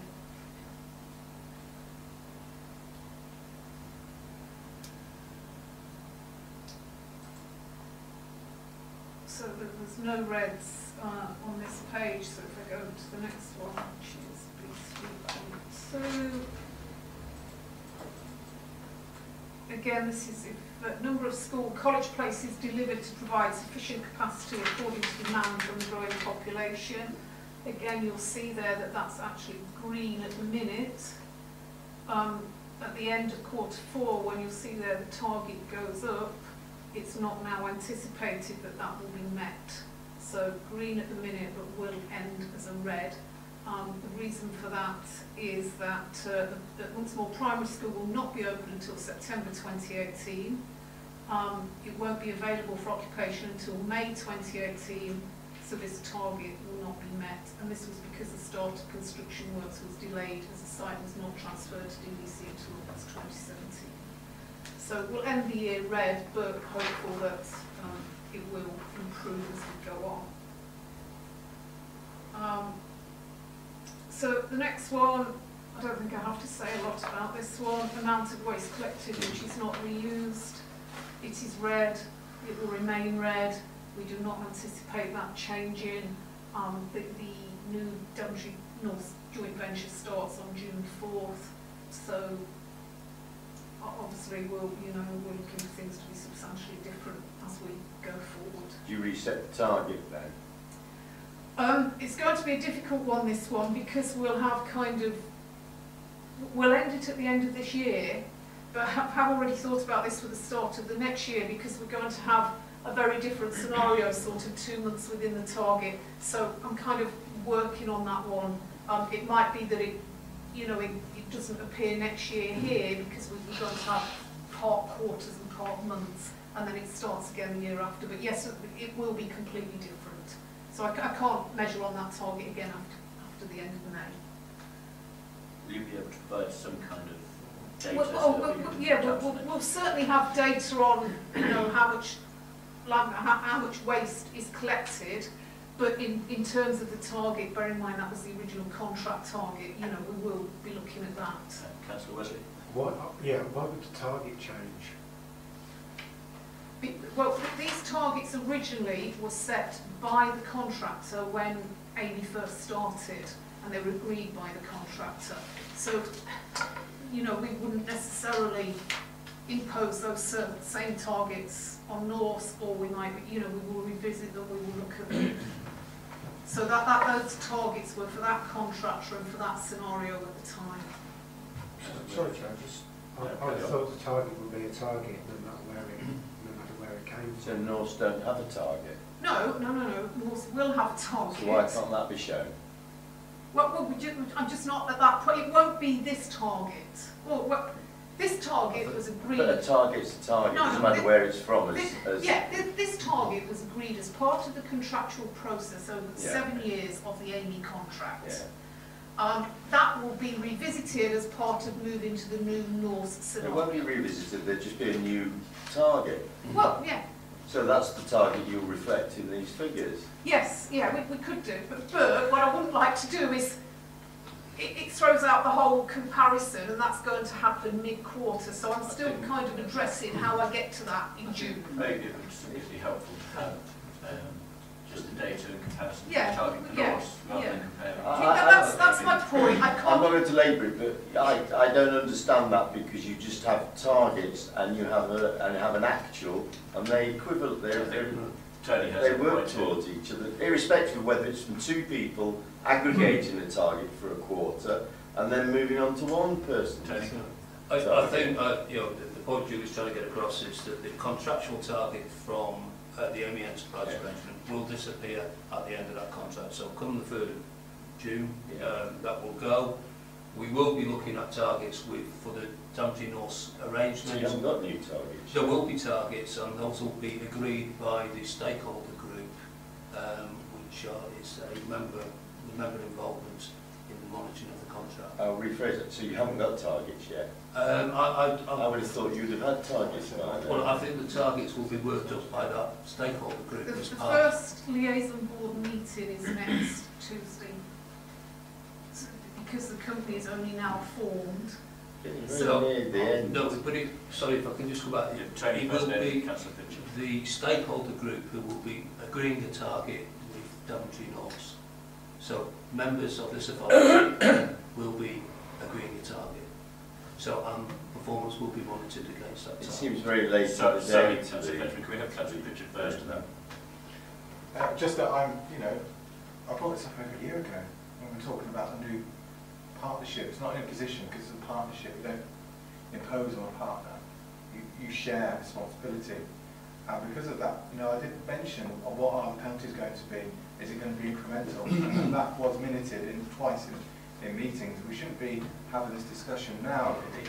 And equally, we do need some targets. It's written into, in, in terms of our vision, in terms of the corporate strategic plan, in terms of our environmental responsibilities. And we are dealing with kilograms per household. So there are comparators that we can make out of this area as well, and that, needs to be monitored. fair point, and I think going forward with the new partnership, I see this committee playing a key role in scrutinising the targets that are there and the performance of in the partnership. I think, Tim, we'll just come back on that. It isn't a, it's not a contractual arrangement that we're going into with um, uh, Jim Horse. It is a joint venture. So we, as Daventry District Council, our members on the stakeholder group, will be working with Daventry North to set the targets. We will have targets for the next year. And just to clarify, I think councillor Fitch had mentioned penalties, presumably as it's a partnership, there's no scope for penalties, is there? Uh, no, it's not a contractual arrangement in the same way that the Amey Enterprise arrangement. So there's no breach of contract therefore, is there? It, it isn't, there isn't a contract, it is a joint venture. So the terms of reference of the, of the venture will be agreed by the stakeholders, uh, stakeholder group or making recommendations to the board.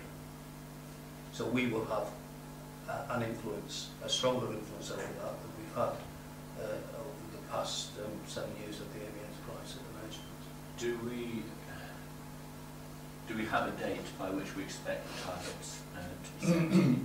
Um, I, I would, would say that there will be targets set for the next financial year. Okay, so would it be uh, helpful for members to have the issue of the Norse targets uh, on the agenda at the first scrutiny and improvement meeting after they've been set? keen to see. I'm looking at, think- looking at you two because uh, No, I think the this- Councillor Fletcher is leaving us. I mean, I think that's, Most interesting. that's, part, that's part of what we're looking at, really. I mean, I mean, just for me, Chair, just to reiterate, I think you know, this council it's not about targets aren't about necessarily what you think you can achieve. It's about what you want to achieve. What should be um, achieved. What should be achieved, and I think that's I think that's really what we're that's not really what we're driving at on this. If that's what we wanted to achieve, that's sort of should probably be at the back of our minds about I what we think- want carry on. Tony and then Councillor. The, the targets on the screen were targets that were set by the contractor, the AV Enterprise contract. As, as the way that contract was put together, contractors would, were invited to come forward with their targets. That, that was what they go- were going to perform against. Targets will be set, but they will be realistic in, in terms of the agreement going forward. Now, I'm not in a position to say today, and I don't think the jury is to say what those targets uh, will be. But I'm sure that we can report on those in, in due course. Excellent. Councillor Thank you, Chair. Uh, I don't intend to be an annoying ex-chi- uh, ex-chairman scrutiny, but uh, I thought on this occasion it might be useful to attend. uh, not least because actually, of course, at the last meeting we had, Councillor Guildford in. And uh, I seem to recollect, I mean, it's actually minuted that we, uh, we would invite her back in April. So uh, later on in the meeting, you may want to have a look at actually re-inviting her in April. So Item 10 on the agenda is the crop failure hold. Exactly, yeah. So page seven, it, we actually said that we invite her back into school in April. Uh, when more precise information regarding the joint venture partnership would be available. Like said, we did touch upon this last time, if I remember. And uh, in terms of dealing with this, the second point is, I mean, uh, very simple cosmetic reasons, I suppose you simply create a new, uh, a new section, which is basically a new contract, and as soon as uh, we get those indicators for performance, we can start measuring straight away. And then there should be no issue about tracking backwards. I think I heard a whisper, but not a contract. I think, sorry, just apologize, it's uh, a missed term.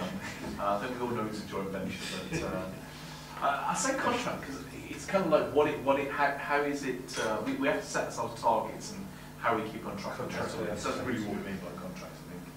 Uh, holding ourselves to account, I think. Absolutely. Thank you, Chair.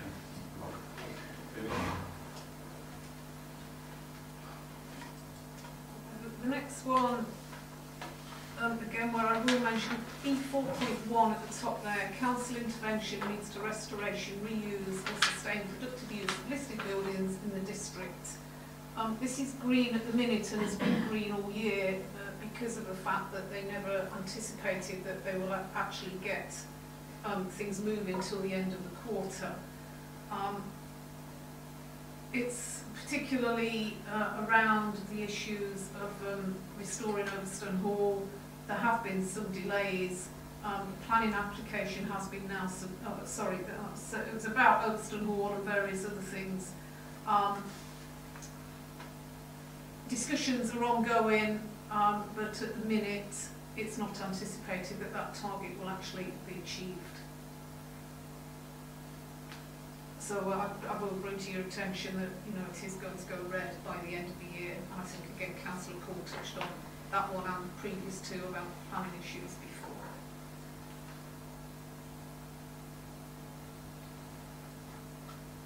And I think actually that is the last one that's red. And I was just going to mention at the end, all that's likely to go red, and I was just going to mention at the end, um, C4.2 corporate plan achieved at the minute, uh, at the end of quarter three, 94% uh, within 5% of targets or better.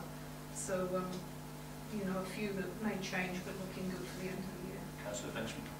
Uh, thank you. Just one uh, general point on C1.4, the uh, council-owned property that's that's occupied, Hang on, see 1.4.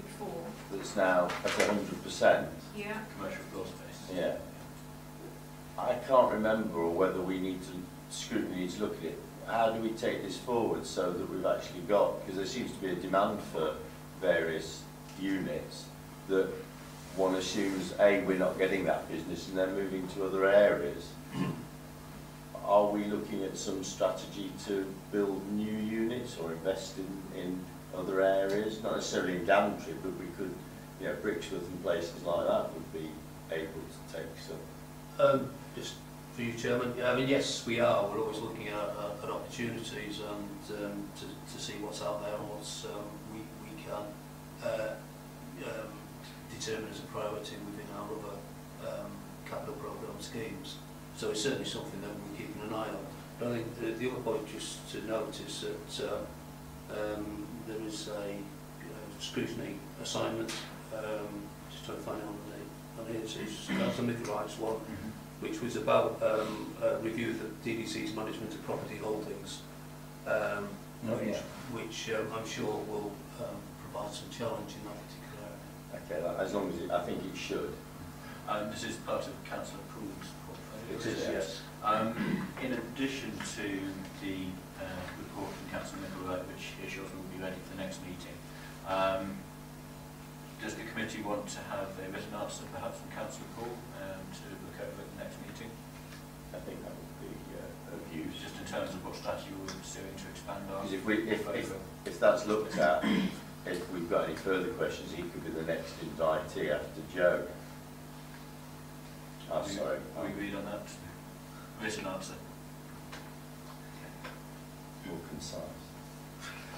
You wish.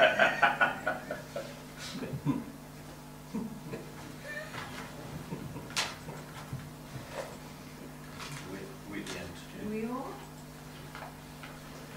Thank you.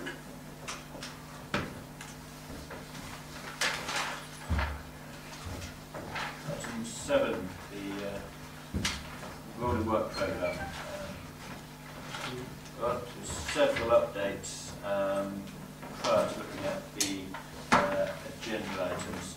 Um, I think we are in a position at the moment where just because of uh, personnel changes, there's probably a slight dip in uh, activity and productivity.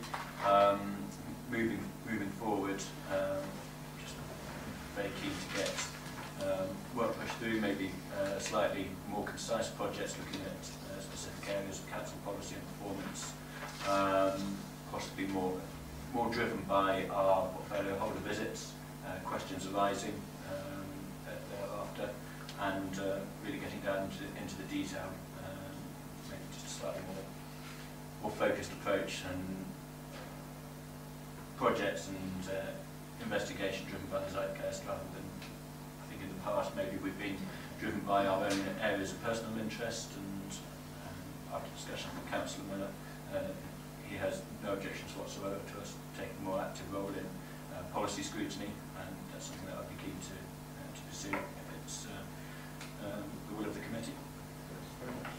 Councillor Ritchie. What would you have done if he had objected? I would have objected back. I mean, I mean, the, surely the, the, the idea of scrutiny has got to be independent of the, the, the, the, views and wishes of the of the leaders of the council. You're absolutely right. We're an apolitical body. Um, I was merely saying that I have discussed our approach with uh, Councillor uh, Councillor Millar, and he's supportive of that approach, not that I was mission. Um, okay, so we can uh, just one uh, one point to note.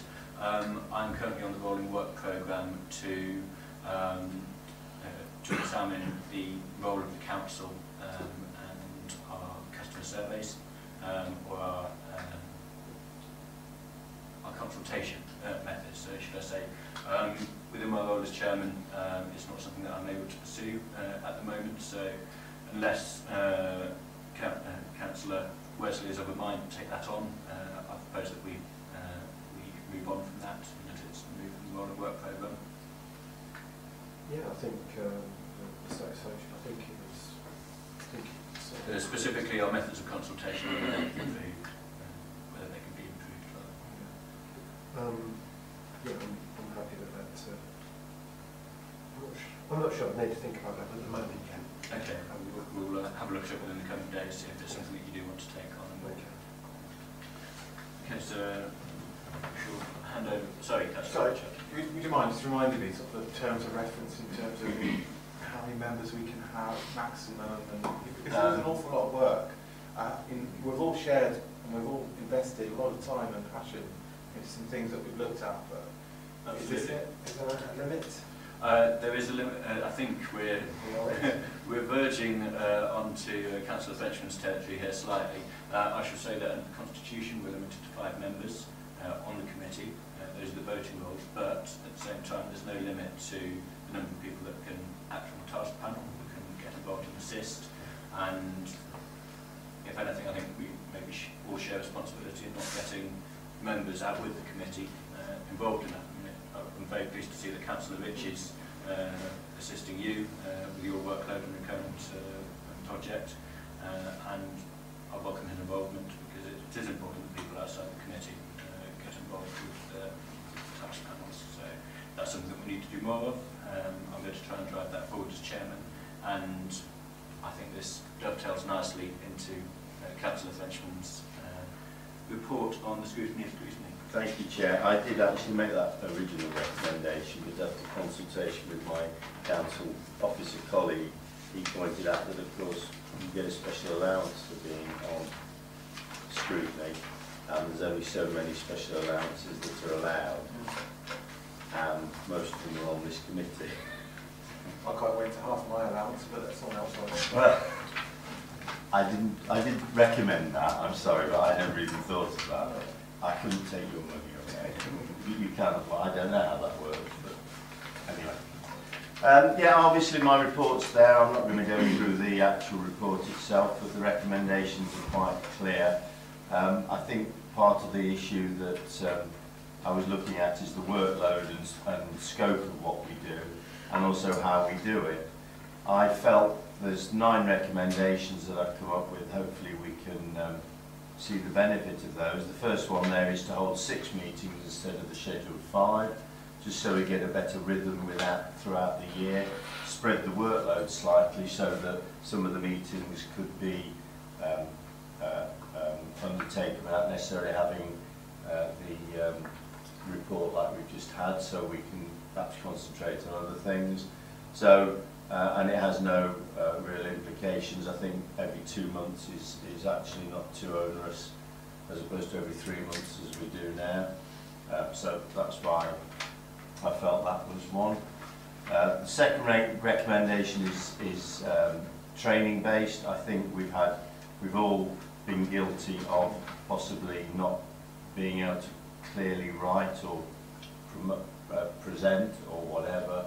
I think we, I say we, obviously you lot, um, uh, and I would like to have done it, um, uh, would benefit for some training on things that I've mentioned there. Actually, and just on that point, Yeah. um, just bring up again the, the evening that we uh, attended Northampton Borough Council, where they did hold Oh, some uh, committee-specific training. So um, I think it's worth exploring whether there are opportunities uh, outside DDC um, to, to attend training courses. Well, we had, a, uh, Colin organised one some little while ago, it was done by the Birmingham guy, wasn't it? And that was quite And useful. no doubt if, if NBC can hold a um, training course that's open to the, the wider local government community, then Well, that, that part of that is, is also uh, in one of my later uh, recommendations.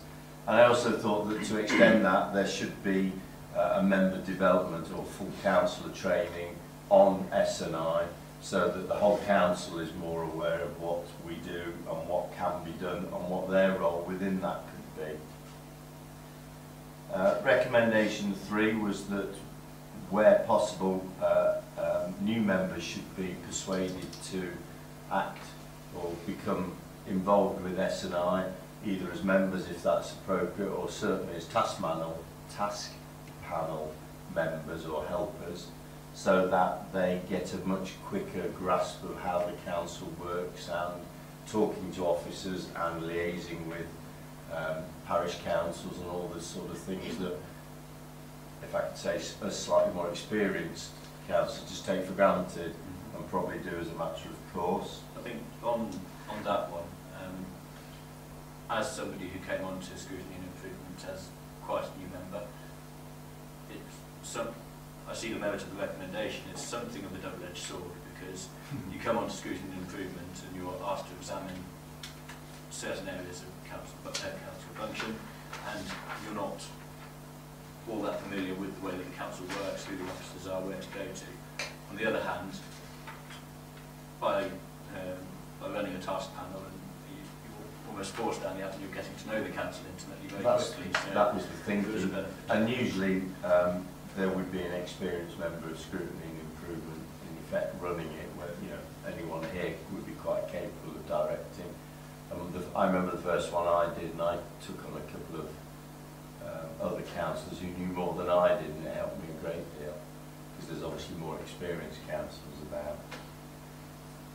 Then recommendation four is obviously the active encouragement of, of other members, i.e. people not on the committee, to suggest task panel topics. It occurred to me that most of the task panel topics that I've seen over the last year or two have all been inspired by people on the committee.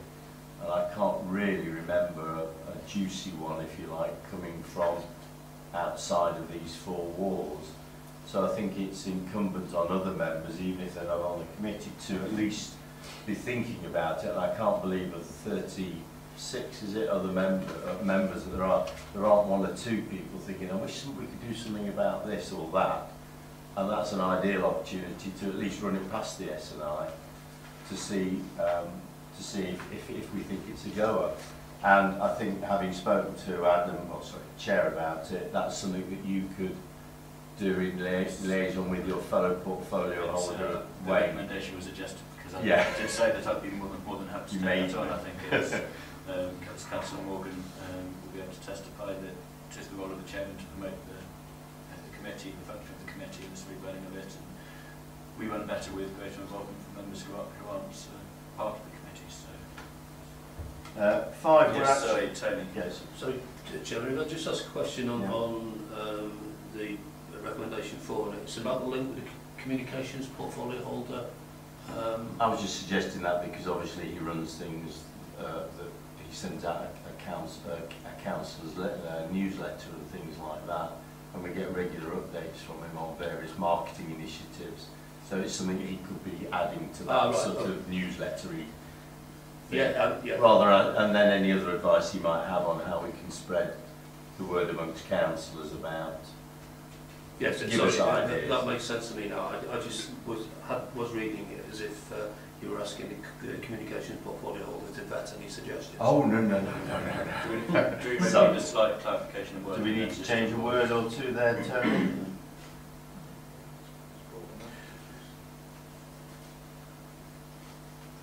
Sorry, Councillor Morgan. Maybe a very, uh, very minor uh, amendment might be to make it communications portfolio order with capitalisation in the correct places so it's identified as a specific role.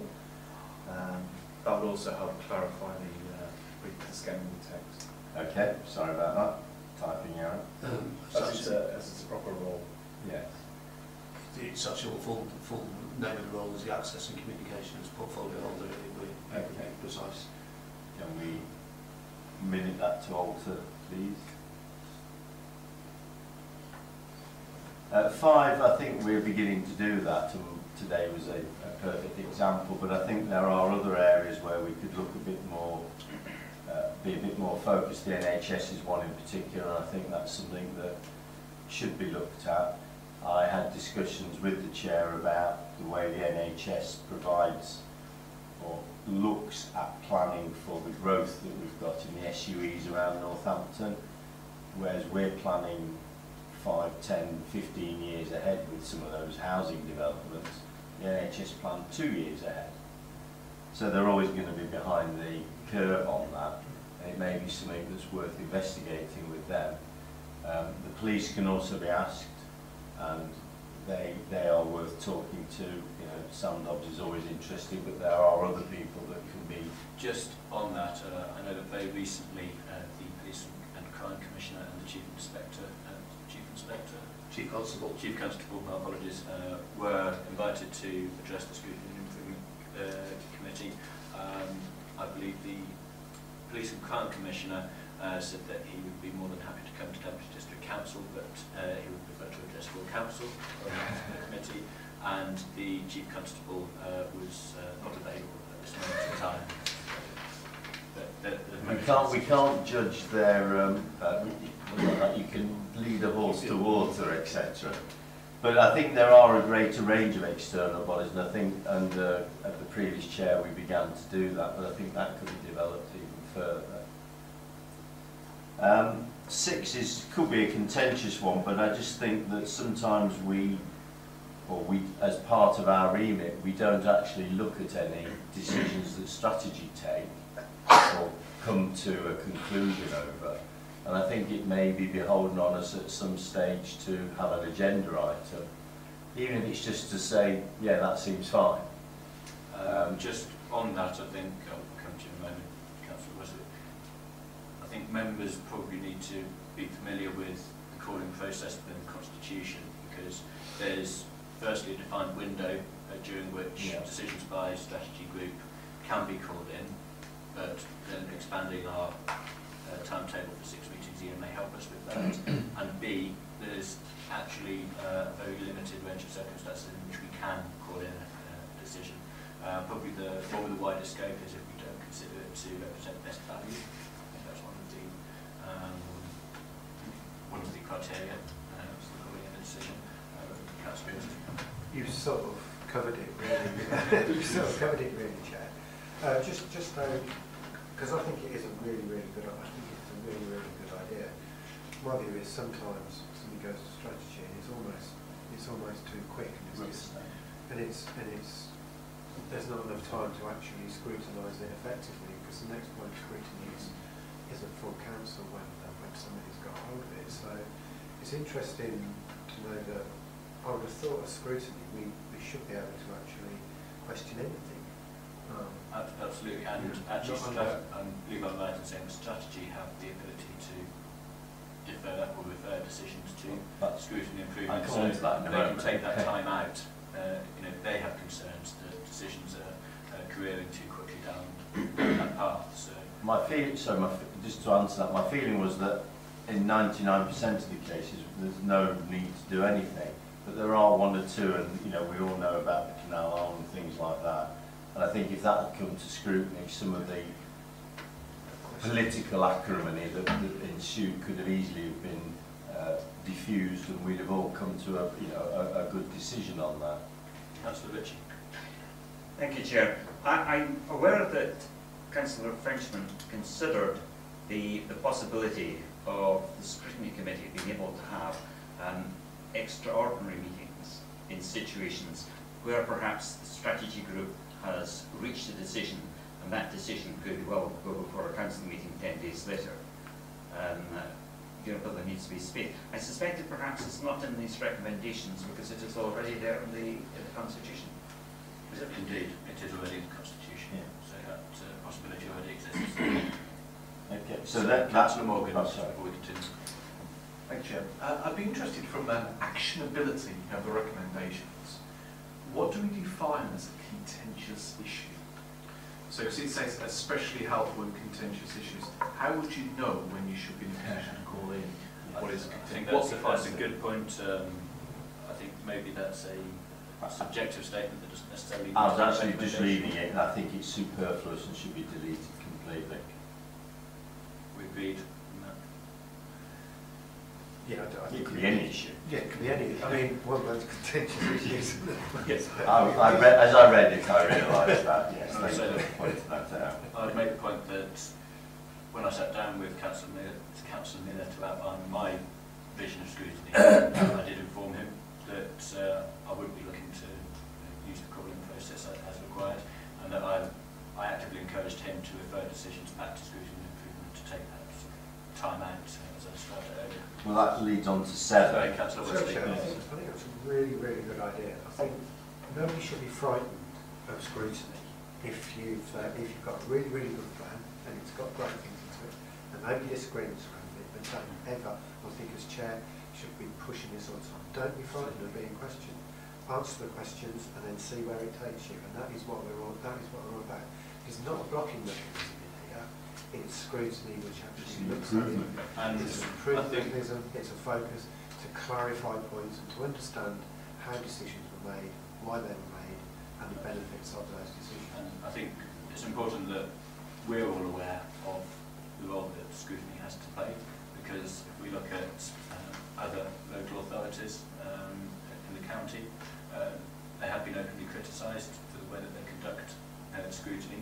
So we are here to play a role and we have to play that role to its fullest. Otherwise, you know, we leave ourselves open to criticism from people outside the council. So, Councillor Pitcher. It's just a matter of process, that was all. How would they go about that? Say I found something, um,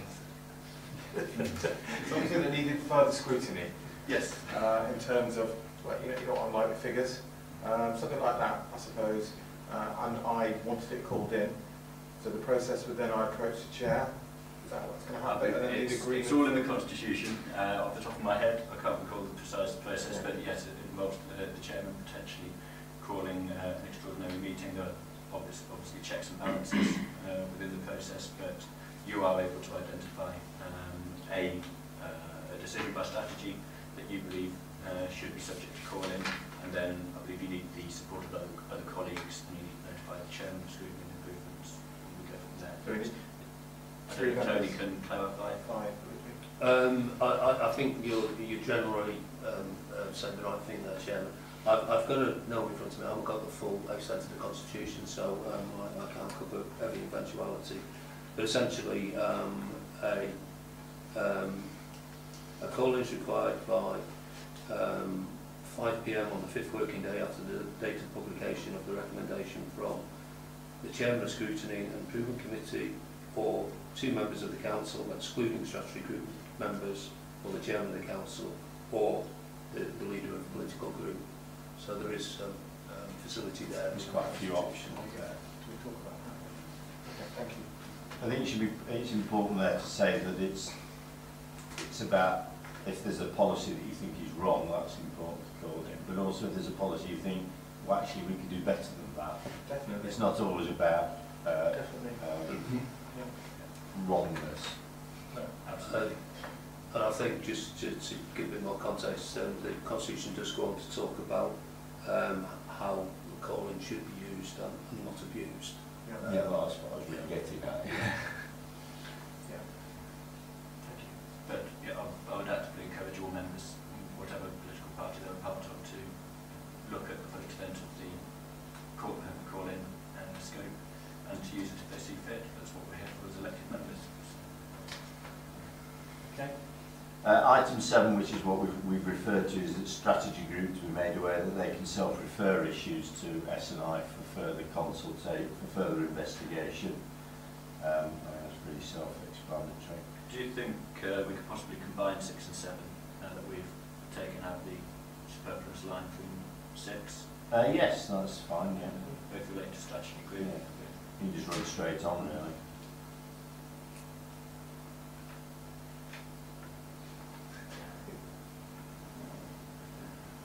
Sorry, I was just thinking, this goes to strategy, we have to call it in. Ironic, I think, is it? Morgan. Chair, is, is, um, is number seven only about emerging policies? Because there's an interesting kind of semantic point of when, when you know there is an emerging policy. So it's not only emerging, po- uh, you know, when, when does a policy Are you saying that it should be EG rather than IE? Uh, yeah, possibly actually, but, al- but that's one thing, uh, uh, EG instead of IE. But the other one would be, for instance, like uh, emerging performance issues. I know that's what we already do to, a, to an extent anyway, but I think you could broaden that point out uh, in, a, in a meaningful way. Any specific thoughts on potential alternative wording? It doesn't even need that really, does it? Again. Could we just take that out? We regarding the wording from IE onwards is superfluous again?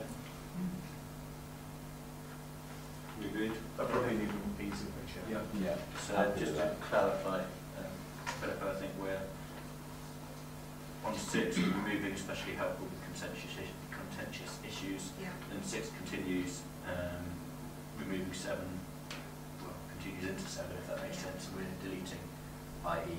Regional emerging policies, yeah.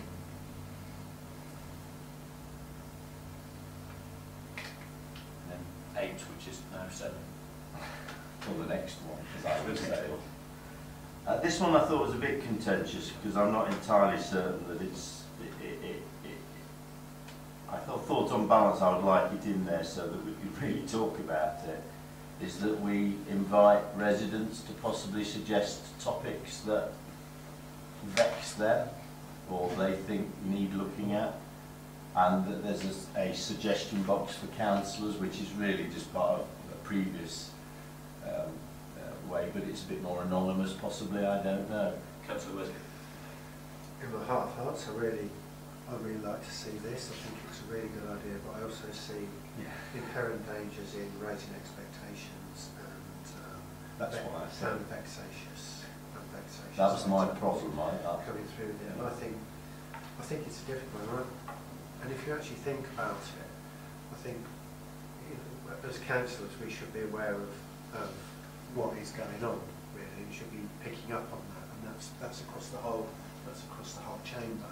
And, uh, and if, and if we're not doing that, then, then we're not, then we're not really doing our job. So, you know, the, the, I think those, those points in, in a way should come naturally to us and, um, and feed into, feed into your, uh, the other points that you've made. For me, it's, uh, for me, it's, uh, it's, it's, that's, that's a no, but, um, I would, uh, part of me thinks it should be a yes, but I think, uh, I think it actually should safer option, no. no. Well, I think it should be a no, I think we should, I think, I think if the other parts work properly, I think it becomes, it just becomes superfluous. Superfluous, yeah. Councillor Pritchard. I I would just echo, I really welcome and herald uh, Councillor Frenchman's attempt to have more engagement directly with, with our residents, customers or citizens. Um, But Or- or I think there, are- there may be the potential Yeah. for some individuals to embark on a, a route that may even be personal. I'm happy to, to, to, to change that. My only bit that I really want to keep is we don't engage with the staff or the officers in any way on, on scrutiny. I don't know through Tony whether that's something we should do or could do. Um, the Constitution uh, does allow us to uh, invite senior officers and senior management team, uh, or not, not merely invite, to uh, instruct them to attend. Uh, It's too strong No, I don't mean phrase, it's, but I'm thinking in terms of, of obviously officers and, and, and staff are working 24, however long they do, on council issues. yeah. So they may see things that are are in need of some scrutiny before even councillors get to see it. Yes, Councillor Pritchard. Yeah, that's that's a really interesting point. I think perhaps Tony can give me some more information about this. But say, you know, what are we scrutinising? We s- We're scrutinising the operational and services for our residents, or are we scrutinising the workings of a council itself? I mean, we- we weren't too far away, I don't want to bring up the wall, but, you know, when there was suggestion of private healthcare for a certain amount of management, and perhaps as an introduction, and I'm not sure how I would have felt personally as an employee here, uh, and- and things in terms of, uh, I know some of this might be covered in audit, corporate governance, and, you know, in terms of strategy, in terms of uh, increases in wages and things, but is, is this, I just need some information and advice, is this the forum or something? Um, I, I think, well, I, I can't speak for what was in Council Frenchman's mind when he, when he came up with this, but what I can do is make, offer some obs- I have trouble as well. Um, I, I think um, uh, um, that um, it's perhaps a dangerous route, um, um, uh, similar to the um, view that appears to have been taken around inviting um, comments from uh, members of the public about raising expectations of, of something that might might come from that. Um, what I'd also say though, that there are other routes for um, employees to raise issues of, of concern. Um, uh, and also through the, their union representation. There's a regular union liaison meetings with the chief exec. But there are various opportunities. Um, and, and we would, as management, we would encourage uh, uh, employees who had concerns to feed them back through the management training. Um, I just, uh, there's nothing to stop us um, bringing Councillor Griffin before the uh, committee, who's the uh, HR, also the portfolio holder. Um, so, you know, that would be an ideal uh, opportunity to put forward those Councillor Morgan did want to speak, and I'll come back to you if you want, Councillor. Thank you, Chair. Uh, I think um, Tony made the point actually, it was about the, I suppose it's the manageability and the expectations. I think conceptually it's a very good idea, but I think there's, yeah, there, there is a point first of all about how you manage uh, incoming traffic from the public and how you actually translate that into uh, a scrutiny assignment, if you like. Uh, and then obviously uh, you mentioned the resource crunch earlier, which of course uh, I know from my period of chairman can always be a challenge. Um, and I think in terms of employees, there's, uh, you know, it's what the angle of the concern might be. Uh, and of course, as Tony says, there are different mechanisms for workers, you know, be everything from a, you know, kind of whistleblowing policy at one end to sort of how to manage. But I think the suggestion about Councillor Griffin uh, as an interesting perspective would be quite a, a noteworthy. So, Councillor I'm just, it's really, I know it's nuanced, but at the same time, if an employee had a concern regarding the value and the expenditure of this council through some of its provision, would that not, you know, that's, that's an over, that's more of a wider concern from the employee rather than a personal, is that not count or do not represent them in that way or? Well, I think there are potentially some difficulties there with council employees uh, expressing political views um, um, about their work within the council. They, they still have representatives, um, you know, presumably as a resident of the district, they can go to their councillor, and express a view, and then bring it to us. True. Uh, I just think at the end of the day, it just appears to be a slight conflict of interest. The possibility of a what I was trying to. a conflict of interest there, making it difficult for staff. They were to do it, would be an extremely difficult position without anyone doing anything, without anyone victimising them. Um, I think, uh, I think, I'm- I'm, I'm just not sure it works. I think there's, I think there's other avenues. And, and really, again, those, those concerns should actually come through the, the senior management because it should be raised to somebody like Tony to say, look, Tony, we're doing this and I think that we, you were missing a trick here and uh, we, we're spending too much money on X, Y and Z. Tony's like, oh yes, I'll sort that out.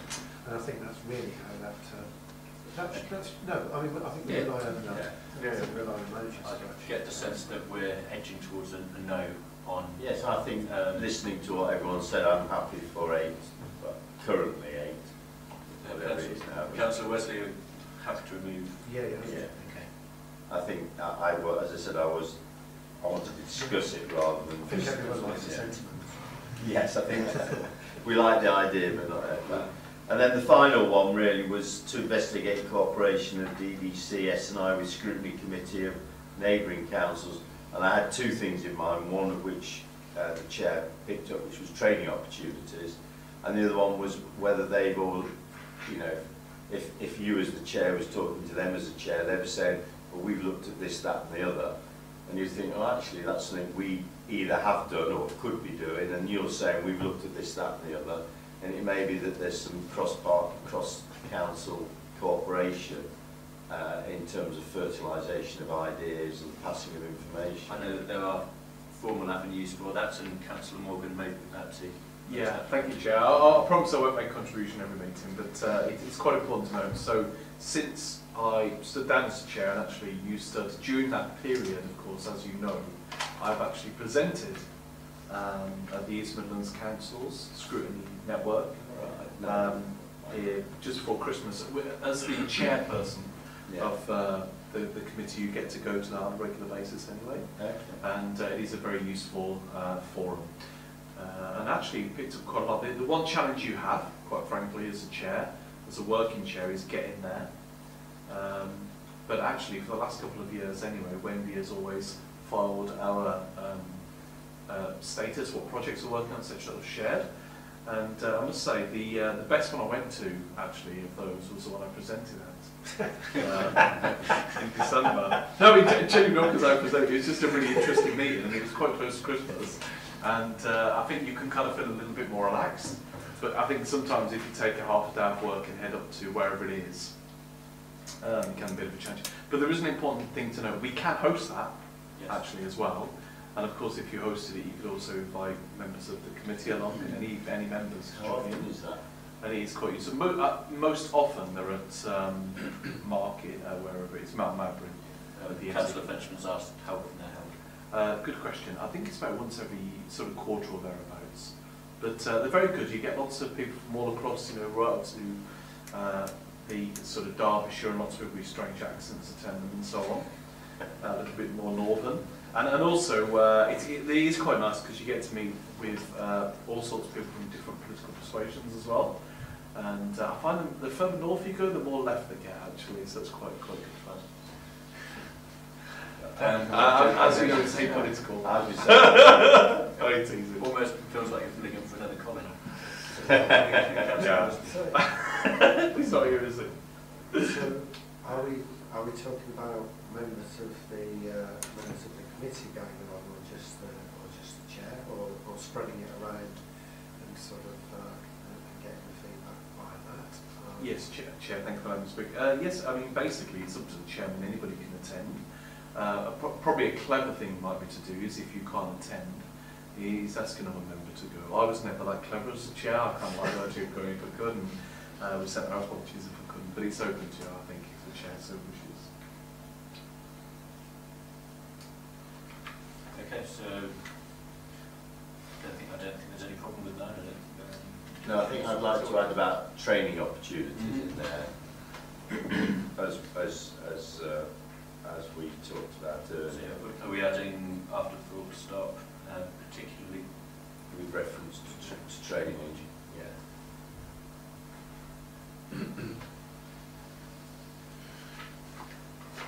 That's where I got to.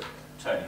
Chairman, I, I think I just pose a challenge to you as a committee now, that um, uh, normally what happens with these, um, once the um, um, recommendations have been refined as to they have to this evening, they then go on to strategy group, uh, for strategy group to um, have, their say in it and, and then on to council. But what I would suggest is a number of these are within your own gift. So do you really want to be going to ask strategy group and council if you can do something that you're already able to do? So whilst as a committee you might be happy to accept, accept the ta- recommendations of the task panel, you might want to think about what you actually wanted to uh, pass forward to strategy. Okay, so if we briefly recap then, uh, the committee to hold six scheduled meetings each year would require reference to strategy I. I, think it's probably sensible to take that forward because um, whilst technically you can do that, the constitution says you must have at least five meetings and Yeah. more if, if required. But if you want to, you know, sort of set the stall out that it's going to do you think it requires further examination by the senior I, I- I think we, we will need to look at the schedules, it needs a little bit more resourcing, but I don't think that would be an issue. If, if that's what committee wanted, then I think you should be. Councillor Wesley? I really appreciate Tony explaining that to us because, uh, but I also, part, part of it is, it's almost like the publicity of, uh, of the strategy group and actually putting it out there. Um, for, so, sorry for the scrutiny. Mhm. It's almost like a, a bit of a, a PR exercise. I see that as a PR exercise and I think, you know, yeah, it takes a little bit of a risk that, uh, that somebody at, uh, at strategy might uh, go and bump something off, but um, I don't see anything overly contentious in there to do that, and I think, I sort of think it, it puts it in front of the council about what the proposals are. If we just decide on it, then nobody knows in reality. Uh. So if I could just respond to that, I'm, I'm not telling you what you should do. No, no, no, no, you should, no, no, you should tell you, I appreciate what Yeah. you, I But appreciate. uh, I, I think, I mean, if you're comfortable with that approach, what you are likely to get back from strategy group is a, um, a report that says this is within your gift for some of these, some of these items, but I take the point, you will have aired the issue. Okay, so Councillor Ritchie? Uh, Thanks, Chair, for letting me speak. As a non-member, I need to let- sometimes feel a little bit of an intruder. Uh, but let me, let me come back then.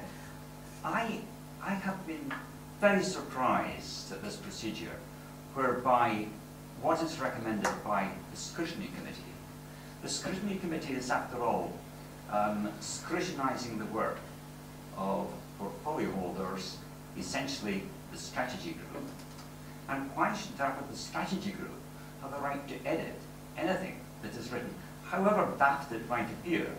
Um, but why should it be in a position to edit what it is that the scrutiny group wants to report to the council. So, sorry, yeah, yes, the, yeah, I, I, I I feel that, I I feel there should be a direct link, because I come back to it, that, um, that other than those who are portfolio holders, it's the responsibility of every councillor to scrutinise the executive. Um, I didn't raise it at the time because uh, I can't remember it was Councillor Frenchman or yourself that explained that you know that you can't actually increase the size of the scrutiny committee because there are allowances involved and therefore there are you know there is extra expenditure or some sort of ruling. I've got to admit that until I saw the draft paper, I wasn't even aware that there were additional that there were additional allowances that went with the membership of this committee. If I, if I had a comment to make, I would be, you know, to scrap the additional allowances. How do you expect more people to come and get involved in the work of the committee? If you're saying, well, actually, out of 36 councillors, we only think that the work of scrutiny should be entrusted to six. I, I, I, just don't think it reflects what the whole council ought to be about. Um, if I had been a member of the, of the committee, I would have challenged that very, very strongly. Instead, I'll have to wait until I get a shot at doing it at a council meeting. By which time it is always far too late to get any changes made. Um, okay, taking the points in turn. Um, firstly, uh, in terms of the way in which we refer recommendations back to strategy, um, looking at Tony here, I think it's, it's laid down in the Constitution that because it, we're effectively uh, recommending changes to policy, then they follow the constitutional norms, which is that uh, recommendations come out of strategy and then go to full council for ratification. So we're effectively adding another layer to that process. We just feed it up to strategy, who then uh, passing it back to full council for, full members to um, to del- uh, deliberate on. In terms of scrapping the allowances, uh, I think it's probably a matter for the independent panel. Um, I know this is something that quite passionate about. You've you've raised the point of full council before about allowances, uh, which is uh, fair enough. Um, we do have the independent panel that looks at uh, allowances. If they, I believe it's correct to say that if they were to look at the issue of the special allowances for scrutiny, they'd have to actually do a full review of allowances. I don't know what implications that has. But you know, the, the question of whether we should or shouldn't receive allowances is entirely open to debate. Uh, I think the, it was the opinion of the uh, independent panel that scrutiny members should receive an allowance because of the additional work in terms of investigations, task plans, etc. Per- I- I'm I'm not, I'm not, I'm not, I'm not, well, I do challenge the question of allowances, but I'm not challenging it here, you know, for that reason. My challenge is that the whole issue of allowances is being used and, and it never prevents other people from coming along. You know, So in what way does it it- it- prevent? for coming up and getting involved with scrutiny, yes, we can all come along and attend meetings of the scrutiny committee. Um, if you invite people to the party and say that, you know, you can stand and watch us having a good time, uh, you don't get many who take up the offer. I just feel if we're serious about wanting people to be more involved in, you know, in the work of scrutiny and improvement as well, of course, uh, then you embrace them, you bring them in, you make them part, you make them part of the body. And I repeat that, you know, the many former councils were structured in the way that you had an executive, or it's the chairs of the committees, um, that were there as an executive, and anybody who was- wasn't part of the executive was then part of the scrutiny committee. Sorry, because uh, uh, Councillor Wesley was first. I don't entirely agree with Councillor Ritchie on this. I think, I think we are, we are, we are scrutiny. We are scrutiny. And to say that you, you can't pass anything back for verification, for, for agreement is, is not correct because at the end of the day, something has to go through council and get agreed. But we, otherwise we become the supreme, uh, supreme commanders of, uh, of policy, which would seem a little bit strange. But what it does mean is as long as it's all open and board, what actually goes forward gets put into the public arena and discussed, it's then, it's then that, it's then the council's decision that has to stand by that in the under the scrutiny of the public eye, if they say we should look at it, that is, that is in terms of what we actually do. So, you know, for that, for, for that, if you can, looking at this, if you can call things in question and look at it again, point out where the decisions came from, why somebody might think they're wrong, which is, which is all part of the, which is all part of the process there, you know, slight reviews. I think that, I think that actually works. And, and I'll just say again, and it's, we've got the, previous chair here as well. This, this, this committee is very, very welcoming to those people. It's very actually free and open. It's, it's quite informal. And uh, although, although Councillor Ritchie can't vote in, in here, um, he has total freedom to, uh, to say, to say what he wants, which is also, which is also minuted and available for, for everyone, for everyone to read. And, um, you know, I think, uh, for me, I think it works, I think it works pretty well. I think you have to be very, very careful just about having a, a mad scrum for, for like who comes on and, and scrutinises what. when, um, otherwise it just becomes another council meeting. Okay. Councillor Fincham. Yeah, I think part of the issue is that um, scrutiny uh, at Daventry doesn't sit comfortably with the committee system. Because I think it was originally designed really to be a scrutiny on the cabinet system, like it is in uh, other uh, neighbouring areas where scrutinies are much more um, ferocious, I think, uh, system of examination by backbenchers of what the executive is doing. Because we have a committee system where a lot of things are reached by consensus of committee, scrutiny has a slightly different issue of trying to find its own identity as opposed to that which other councils think of scrutiny and improvement. And I think we, we, we are, hopefully with this report, I mean with the, the uh, raising the profile, we can find a good position to where to put scrutiny in the scheme of things at Daventry. And I think it's lacked that over the years since it was decided quite voluntarily that, that Daventry should have. It doesn't need to have scrutiny at all. I mean, I think it's probably worth pointing out that we are, probably for those very reasons, quite distinct to Daventry because we are scrutiny improvement, whereas there's also a county councillor at county council, it is simply scrutiny. Yeah. We are there, as Ca- I think Councillor Ritchie probably even alluded to it. It is our role as backbench councillors to perform a function of scrutiny. Um, Councillor Morgan, Uh, Chair, before me, perhaps I don't go on Tony's going first. sorry, dear, to you. Um, well, so it's sort of got lost in the debate now, but it's really responding to Councillor Ritchie's points, and, and I think just to add a little bit to, to your response. In terms of um, reporting back to uh, strategy group, um, constitutionally that, that is a requirement at the moment, and um, what it says is um, uh, uh, committee will re- report a formal report and submit to the proper officer for consideration by the strategy group um, for- it's really about um, checking that the proposals are consistent with existing budgetary and policy framework. So that's the reason it goes back into strategy as a route through to, through to council. But that's not to say, I mean, you know, the, the way strategy group is conducted in terms of debate, there, there's no debate opportunity for people to speak as there is at council. Um, so th- there is some way of um, scrutiny members getting their voices heard at council and strategy group if it comes to that. Um, in respect to the allowances, um, um, I'm just trying to cast my mind back to when the um, Scrutiny Improvement Committee was set up in its current format.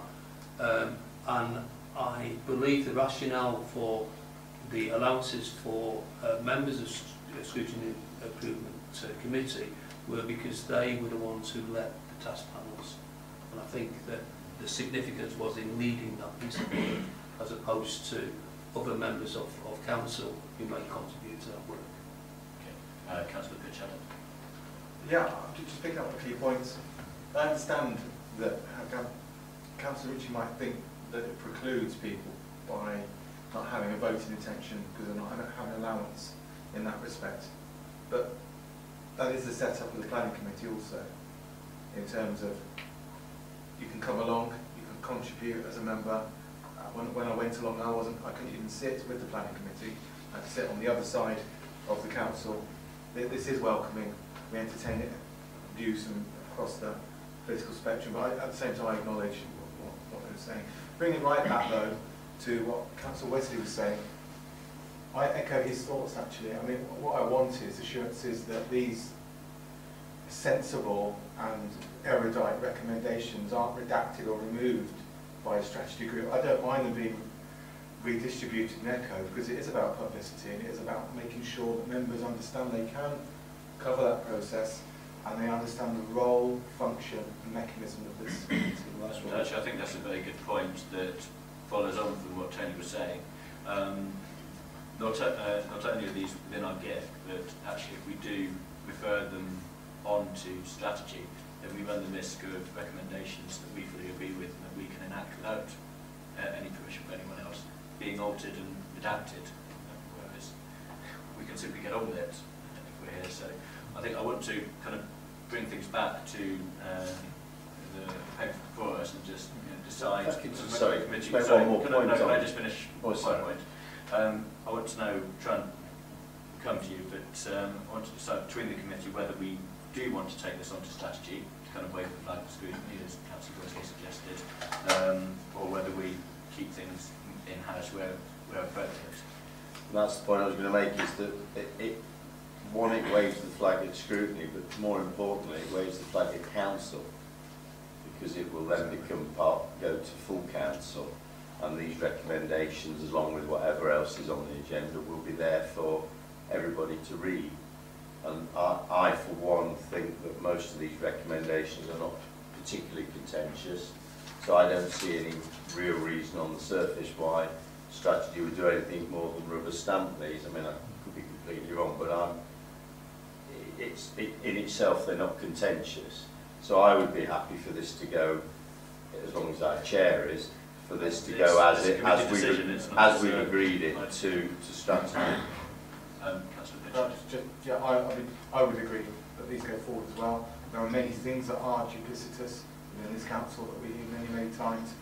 I don't think being scared of this being duplicitous is an a- actually thing to worry about. really. Um, one final comment from Councillor Morgan.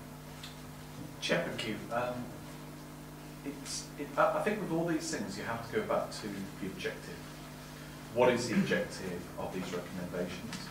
And I think uh, if, if you if you do take those points, I mean, you have to say, okay, it can go weave its way through strategy onto full council, etc. But actually, that's the point, isn't it? When you, you've got items like all members when first elected should be encouraged, we, this is a kind of reified statement. It's like who encourages them. Somebody has to encourage them to serve at least one year. And you have to think about this in practical terms. Who will that be? May well be the chair at the time. Uh, in, in consult. No, actually, the chair selects their members. So it'd be, it'd be you anyway, save this for now. So whilst it may be uh, enshrined as you know going forward to full council, okay, it'll sit in a paper as such. But if you think about how we uh, how you monitor performance, it's not such a thing you can be tracked on really anyway, unless you start putting that into a report. So it comes back down to, to you. I think actually what, what I what I always welcomed as chair and still welcome it sitting here today is particularly the uh, the uh, thinking from Councillor Ritchie, which I think is a little bit more radical. And I think in some respects actually the, the, the report is a little bit of a missed opportunity to do some more radical re-engineering where we can within the constitution and push those boundaries. And I particularly thought having chaired for a number of years, one of the biggest challenges you have is getting people to do the work in a timely manner, uh, regardless whether there's an allowance or not. And actually, um, I, I really walk to the concept of having either a reduced allowance. Well, actually, no. If the barrier is just the allowances, why can't the allowance be just a little bit more allowance to have another member on if that's a barrier? I think he didn't really look into that into too much detail. Or alternatively, say, okay, you could actually have a new recommendation on here, say, we don't want to take a, a, a to, to have uh, an allowance dropped at that looked at, and actually that therefore the objective being if you had more members you could do more scrutiny. And if that is a barrier to not having more members, then maybe that should be a recommendation. So then then you're actually going to strategy and full council for things that are quite meaningful that you can't control and do here. Now that strikes me as being a much more radical bit of scrutiny of scrutiny. I think when I discussed the point of the uh, special allowances with, uh, with Tony, because uh, the point cropped up because Councillor Fletcher had um, suggested additional committee members, which would uh, have a financial implication in terms of the special allowances. Um, Tony raised the point that were we to add any more recipients of special allowances, we'd actually reach the, uh, threshold within council of uh, more members being in receipt of a special allowance than not, and therefore a special allowance suddenly becomes more special. And uh, I think Tony may be able to. Uh, Well, I, I, I think, Chairman, in, in terms of that, uh, I, I was pointing out that the, the comments that have been made previously by the, the allowances and remuneration panel or, or whatever it's called. And essentially, yes, they, they took a view that if more than 50% of members received an allowance, it wasn't special. And I think that is, that is an issue that would arise if um, it was proposed that more, uh, more members receive an allowance. So it's, so, so it's not to do with the, the, the, the financial aspects, it's to do with the percentage. It, well, it, yes, I mean, there would be a So you- financial implication, but... But if we um, said, if we said, I mean, I, I don't know what the allowance for these, for us comes to, but if you were to have that, that as a pot, and say, can we divide it amongst more members, that would take us over the fifty percent, wouldn't it? Yeah. But the financial implication would be zero. That Yeah. would, that would, is that an acceptable? Uh, well, it, it- the, finan- the financial, the cost of a, an extra allowance is not really the issue. Yeah, It- it that's is- what I was getting, yes. It's the number of It's the number of uh, recipients. Yes. But, but Chair, is that the point? You have to go back to the objective. The objective is to get more scrutiny done. Then you could argue you need more people to do more scrutiny. And if the barrier to that is basically the, uh, I don't know if that could be challenged. So you can say, well, so what? We're going to do it anyway if, if the full council is mind to do it. And the bigger picture is more scrutiny. I So- think it's, uh, it's certainly a, a topic that warrants further investigation, but I think within the context of the report in, in front of us, that issue hasn't been examined, Yeah. and I'm It was, but I I a took it out again. Well, uh, respectfully, I think actually within the, the report itself, there isn't. No, I uh, took it, I, there isn't- I uh, took it. In the original, there wasn't actually within the body of the report. Oh, wasn't doesn't there? say, you know, there was nothing to support uh, the recommendation. There's nothing to support the potentially proposed recommendation. So we'd potentially be in a situation where we're making recommendations to strategy with no evidence to support it, which I think is slightly dangerous territory. I know you want to wrap this up. J- j- Is it eighteen eighteen then, in terms of fifty percent allowance, or we get seventeen nineteen, or is it? Um, I, be- I believe it's 18, 18 currently. I, I think the, the argument was at the time that if 90, if it was 1917, then um, it could hardly be called special. What implication does that have? Why can't it just be an allowance? Why does it have to be a special allowance? I think in respect of all allowances over and above the basic allowance are, are special in one term, or, or another, whether they're specifically called special allowances. Hard to ask. I think we're maybe moving away even further from the, uh, the original report. So moving back to the recommendations in front of us, uh, we have to, ta- uh, to take them as they now stand. or Move on, moving on to strategy. Yeah. Okay, okay. agreed. Thank you. Um, Councillor Was to provide a verbal uh, update, um, but he sent his apologies by email uh, and said, as regards the property report, there is nothing tangible to report at this point, but I anticipate still being concluded a set deadline. Leave us our, our next meeting. I think, Chairman, just an observation I would make is that there hasn't been a scoping document approved uh, for that. Um, Therefore, um, as a committee, would you be happy receiving a final report on that, something that you have to agreed to scope on? With the, I'd be interested to know um, how the senior, how the senior management team see see the scoping documents because I know they go before you before they come back to us. Um, are they um, are they, are they completely necessary? Uh, Well, I, I think in terms of setting, uh, setting the stall out for the task panel, it actually essentially says what it's going to look at and what the constraints of that particular piece of work are. Um, without that, then how can you judge, or how can the committee judge the, um, the report of, of that task panel um, if you haven't agreed his, his terms of reference, in fact? Councillor Wesley. I take that point, point. I understand why you have scoping documents, because it stops people, it does stop the, reading off here, there and coming back with, uh, a load of nonsense or otherwise. But, at the end of the day, somebody, if it, if it's presented here, we can rip it apart, throw it away and, uh, and ask them to, uh, ask them to go back and do it again. Personally, I don't think, I, I understand as a, as a matter of general policy, it's prudent to have a, a, a scope of the document, so we all know what we're talking about, but there's no reason why we can't accept something in this The that, title in, th- in this situation is specific enough. that's, So, that's I don't, I don't see why we, why we shouldn't uh, be able to accept at least a a verbal report next You meeting. you can still have, you can still have conclusions, and you can still, you can- you can still make recommendations. Councillor Morgan has uh, views on this. Chair, I'm getting a bit confused. Are we talking about uh, assignment 25, We. DTC manager property audits? We are. We, we had a screw, a scoping document for that in the last meeting, you see. Oh, yeah, I beg your pardon, if that's the case, it And it has been limited. I, I remember it, uh, this is probably the only time it's actually quite useful to me in the meeting, but I do remember it being clear, clearly, uh, clearly said and resolved. Uh, Councillor Brown, you weren't at the meeting, I was not. sure I put my, my intent on, I'm quite humble. Uh, so that has been done, but in any event, the other point is we have got a pathway set out um, of the committee which tells you the course a document takes from its uh, genesis to the conclusion.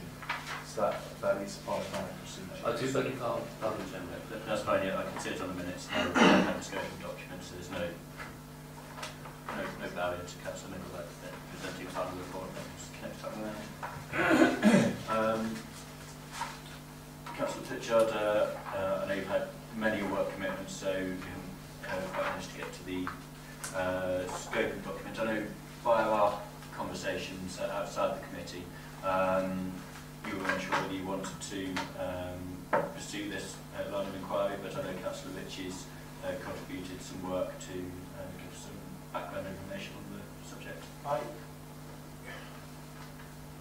this was, this was given to me, yeah, and I readily accepted it at the last meeting.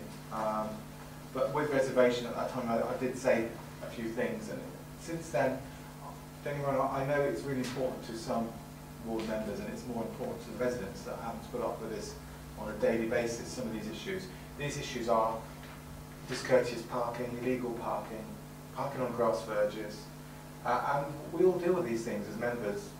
Well, I do, month in, month out, and I'm on the telephone, or I'm sending emails to Kier WSP and to Ian Smith, we all know those names, Ian Boyce, and then we go around in a circle. We, when it comes to funding, funding isn't available. When it comes to notices, notices are available. Uh, and you can put a notice near some parked vehicles. When it comes to enforcement, enforcement isn't available. In the rural villages, rural villages, sorry, in villages, there is one PCSO for 40 villages currently to try and have some enforcement. I'm talking to Neighbourhood Watch, I'm talking to our partner parish council, we deal with things there and then if we can. Um, parking's always going to be an issue everywhere. But if we're talking about a task panel and what and something along the lines of what can DDC do in relation to parking concerns of residents in the district, I think the answer is little, if nothing. Um, it's for ward members to then liaise with the respective county councillors to discuss issues there and then on the ground or with, with other parties as well, other agencies and the police. Um, however, I've seen the work and passion that Councillor Richards put into this and I've seen his work to be very helpful. I- And what I came to the conclusion already was about dissemination of information. Information about bylaws, about what you can and can't do, what is illegal parking, and then every individual board is going to have its own nuances with commercial properties, you know, and those demand and how that rubs up against the local residents. So I'm just putting it out there. Is it something that we perform or I perform with Councillor Richards' help and we get to an answer which is about giving information out without any real, I, I just wonder what other members thought and I know Councillor Fletcher wanted to come in. Yes, two, I've got two observations. One is I thought the document that uh, Councillor Ritchie produced was very good and I, was, and I thought the questions were, were very pertinent and I think it would be useful for that information to be percolated out. Yeah. But secondly, and I can only use my ward as an example, Spratton ward, I, it's a bit like herding cats, but I've got all five of my parishes to agree to sponsor a PCSO, I think. I still think, of times, that, but one of the things that I said was that, that they could use that person because it's only for their five villages, basically, as a, not parking warden, but as someone who can talk to local people about parking properly and could stand outside the shop for half an hour at school, checking out time to stop people parking on zigzag lines, etc. So if the parish council was more informed as to what they some of the regulations that you talked about, and they had an enforcement action through their own PCSO. Because if we have hours for hours, it actually cuts the, I know it sounds ridiculous, but it cuts down that 44 to 39. And I know several other villages, uh, Crick have got their own PCO, sponsored PCOs, Woodford Halse, Woodford Halse, Byfield House, and several others are looking at it. It suddenly becomes a more manageable problem for the law enforcement side of it. And uh, actually, this this kind of relates back to what I was saying earlier. We, we had invited the Police and Crime Commissioner to attend the Scrutiny and Improvement Panel. This is directly within his remit if we're talking about the presence of PCSOs and Matt Biscuit being accused for the second time today of a blue and blue attack, but uh, our Police and Crime Commissioner did stand on uh, the promise of delivering more PCSOs for rural areas and you may want to consider if you are going to pursue this avenue of um, preempting your findings, uh, but uh, recommend, recommending that this council write to the uh, Police and Crime Commissioner to apply pressure to provide more PCSA to the rural areas. That could be a potential outcome. On, um, on enforcement issues, yeah, uh, there is there is an issue. Uh, I mean, just saw a report back that the town council is uh, is actually looking at uh, providing uh, um, providing a PCSO in Daventry and uh, possibly- Responsible. Yeah. and possibly a, a, a town warden as well, primarily for town centre, but to be used to be used. And maybe uh, maybe you know obviously it's a resource and it will be spread thinly, but, but, but that is a that is a possibility. Um, just on the parking though, think that there are issues with parking in and maybe the parking over there at the wrong tree here because uh, it's just uh, it's just an understanding of, uh, of how many parking spaces there are and how we actually deal with that in our uh, in our planning committee because we continually see we continually see building on uh, building on people's front gardens uh, through at the moment knocking garages down again on parking places and building houses which not only removes parking places but actually uh, actually takes them away. And we're you know situations all around the town where we're we're converting uh, office space or, or things or creating um, creating high-lows um, and being told that bicycle racks are being put up and so nobody's going to have a car. And um, you know maybe it's maybe it's the uh, maybe it's the screen issue looking at the full understanding of the parking requirements of Daventry and what we're actually doing as opposed I to think what's coming out of this discussion here is probably that whilst DDC doesn't have a uh, statutory duty um, to to manage the problem, you know, we do have areas of influence where we could provide potential solutions. The report could potentially look at that. Um, ultimately, Councillor Pritchard, I think it's up to you whether you want to pursue this uh, this uh, issue, whether you, you're confident that you can produce um, uh, quality document um, reasonably quickly uh, that will do the subject justice. You know, It's difficult, I- think because I'm I'm surrounded by side by someone who's dealing with issues Yeah. and someone who's on town council and and knows the capacity problems and has insight, and yet I don't have any of that, yet I'm the person who's, you know what I'm trying to say? I'm not, Absolutely. you know I'm not dodging it because I've done a- another piece of work that I've sent you all, you know, which is bigger potentially, well it is going to be bigger, So it's not that, it's just me having the insight. Can, Do you tell me? Would you like to take this on? I could, gi- I could certainly give it a go. Certainly give it a go. I mean, it's, uh, I know it's, I mean, it's, it is a constant issue with everybody. You've Um, got, you've got some solid background work from um, Councillor Ritchie, your town uh, ward councillor. yeah. Falls neatly within your area of interest potentially, so if that's an agreeable solution, I don't know if the, uh, the issue of um, consultation, that's certainly may, maybe dovetails with your professional uh, knowledge. Um, I was proposing a, a on consultations and how Daventry manages its consultation process. Um, that can be dropped altogether if it's the committee's desire, but we happy, Councillor Wesley, for you to take on the parking issue. Councillor Pritchard, you're happy to And down. I still, you know, like I said, I'd still like to be involved, and if you want me to look at the parish aspects, individual, you know, what, what are the problems and information, I can still do that. But, You know, participate in that way if you want me to. Yeah. But It's Sorry, all about refocusing as well though, because it was all up in the air, is it about bylaws, and we've just discussed, is it about parking?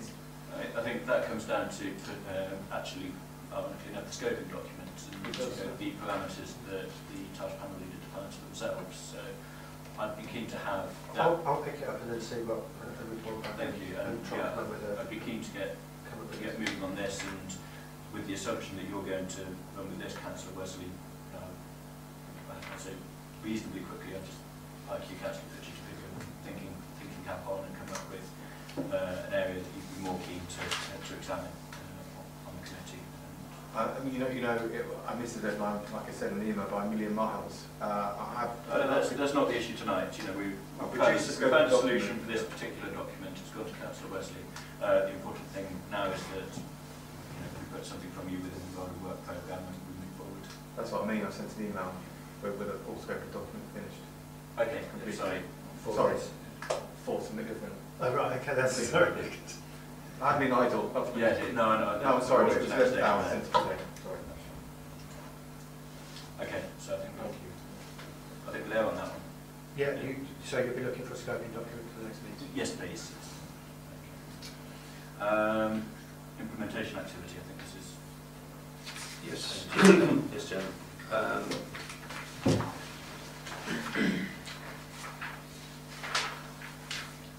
Right, so page um, 17, um, we've got the implementation plan for the rural economic role strategy task panel.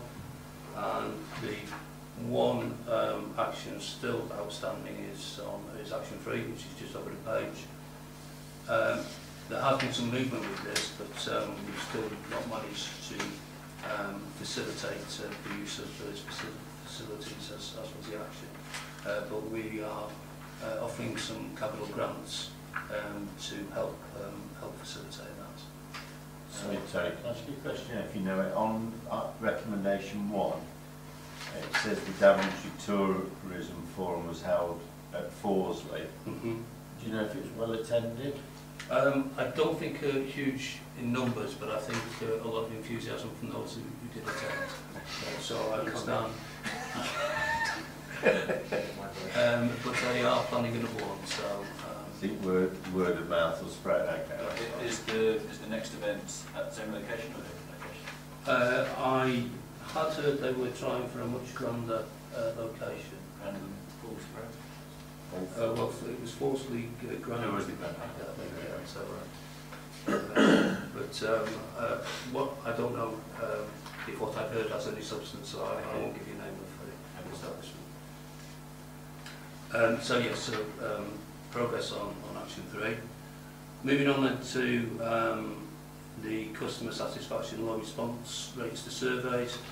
Um, there was a single action from from that um, that task panel, um, and um, we are we've slipped or we will slip on on the timetable.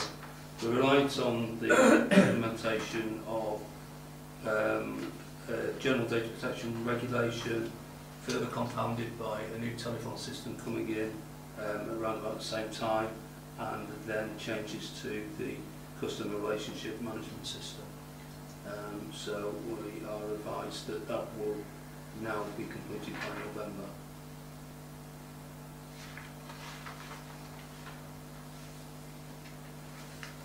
Um, empty commercial property, um, there's an update on um, action two.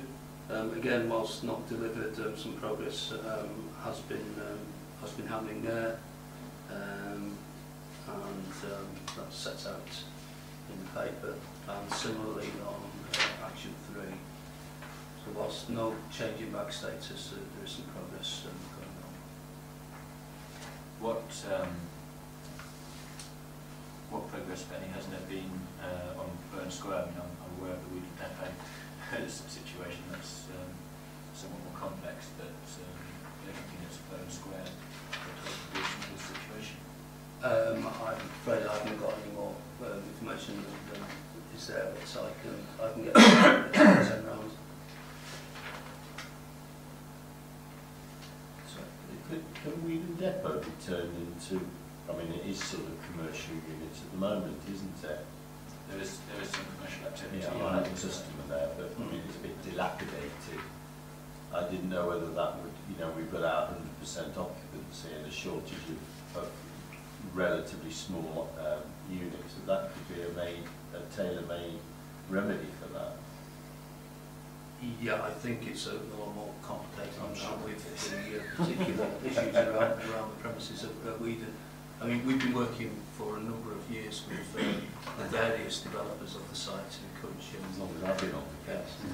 uh, encourage um, of uh, use and uh, we still uh, bang away at that is a draw question. Yeah, I know, I know there were, there were quite serious ongoing discussions there, so just, uh, watch the space. That's, that's it.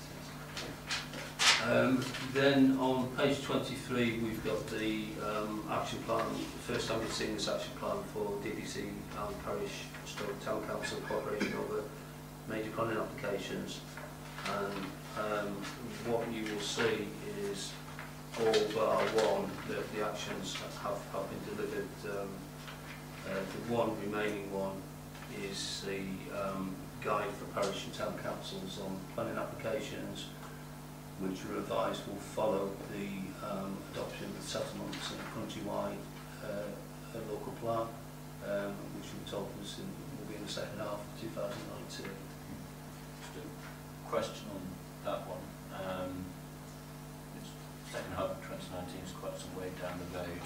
Um, obviously hasn't been delivered yet, so maybe but why is it amber rather than red? Uh, because there is a plan to deliver.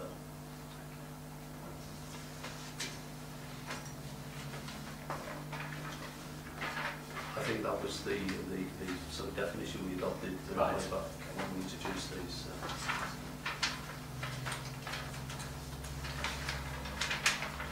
Right, um, item number nine, one-year post-implementation activity reviews, uh, there's, uh, there's none. Um, so, item number ten, portfolio attendance at scrutiny improvement committee, is it still the, um, is it still the will of the committee to have councillor Guildford attend the next meeting? Yes? Councillor Guildford, Yeah. next meeting. And finally, urgent business, um, none, uh, other than to say thank you very much to Councillor Fletcher for all of this hard work on scrutiny over the years. I put them at the meeting. Um, no, uh, you can't check your emails then. Oh, right, okay. Um, I think we may need to discuss that. Oh, Is it right. Simply to say that we've got, um, Go. I thought it was, I thought you, you, I thought that was to start after the elections. No, simply because, uh, as I said on my, uh, on my email, uh, councillor Ian um, Robertson. sorry, Robertson. sorry to interrupt, you may want to end the meeting now Okay, I'll continue this discussion. Right, okay, I shall close the meeting. Apologies, but thank you very much, Councillor Fletcher. Thanks, Kieran.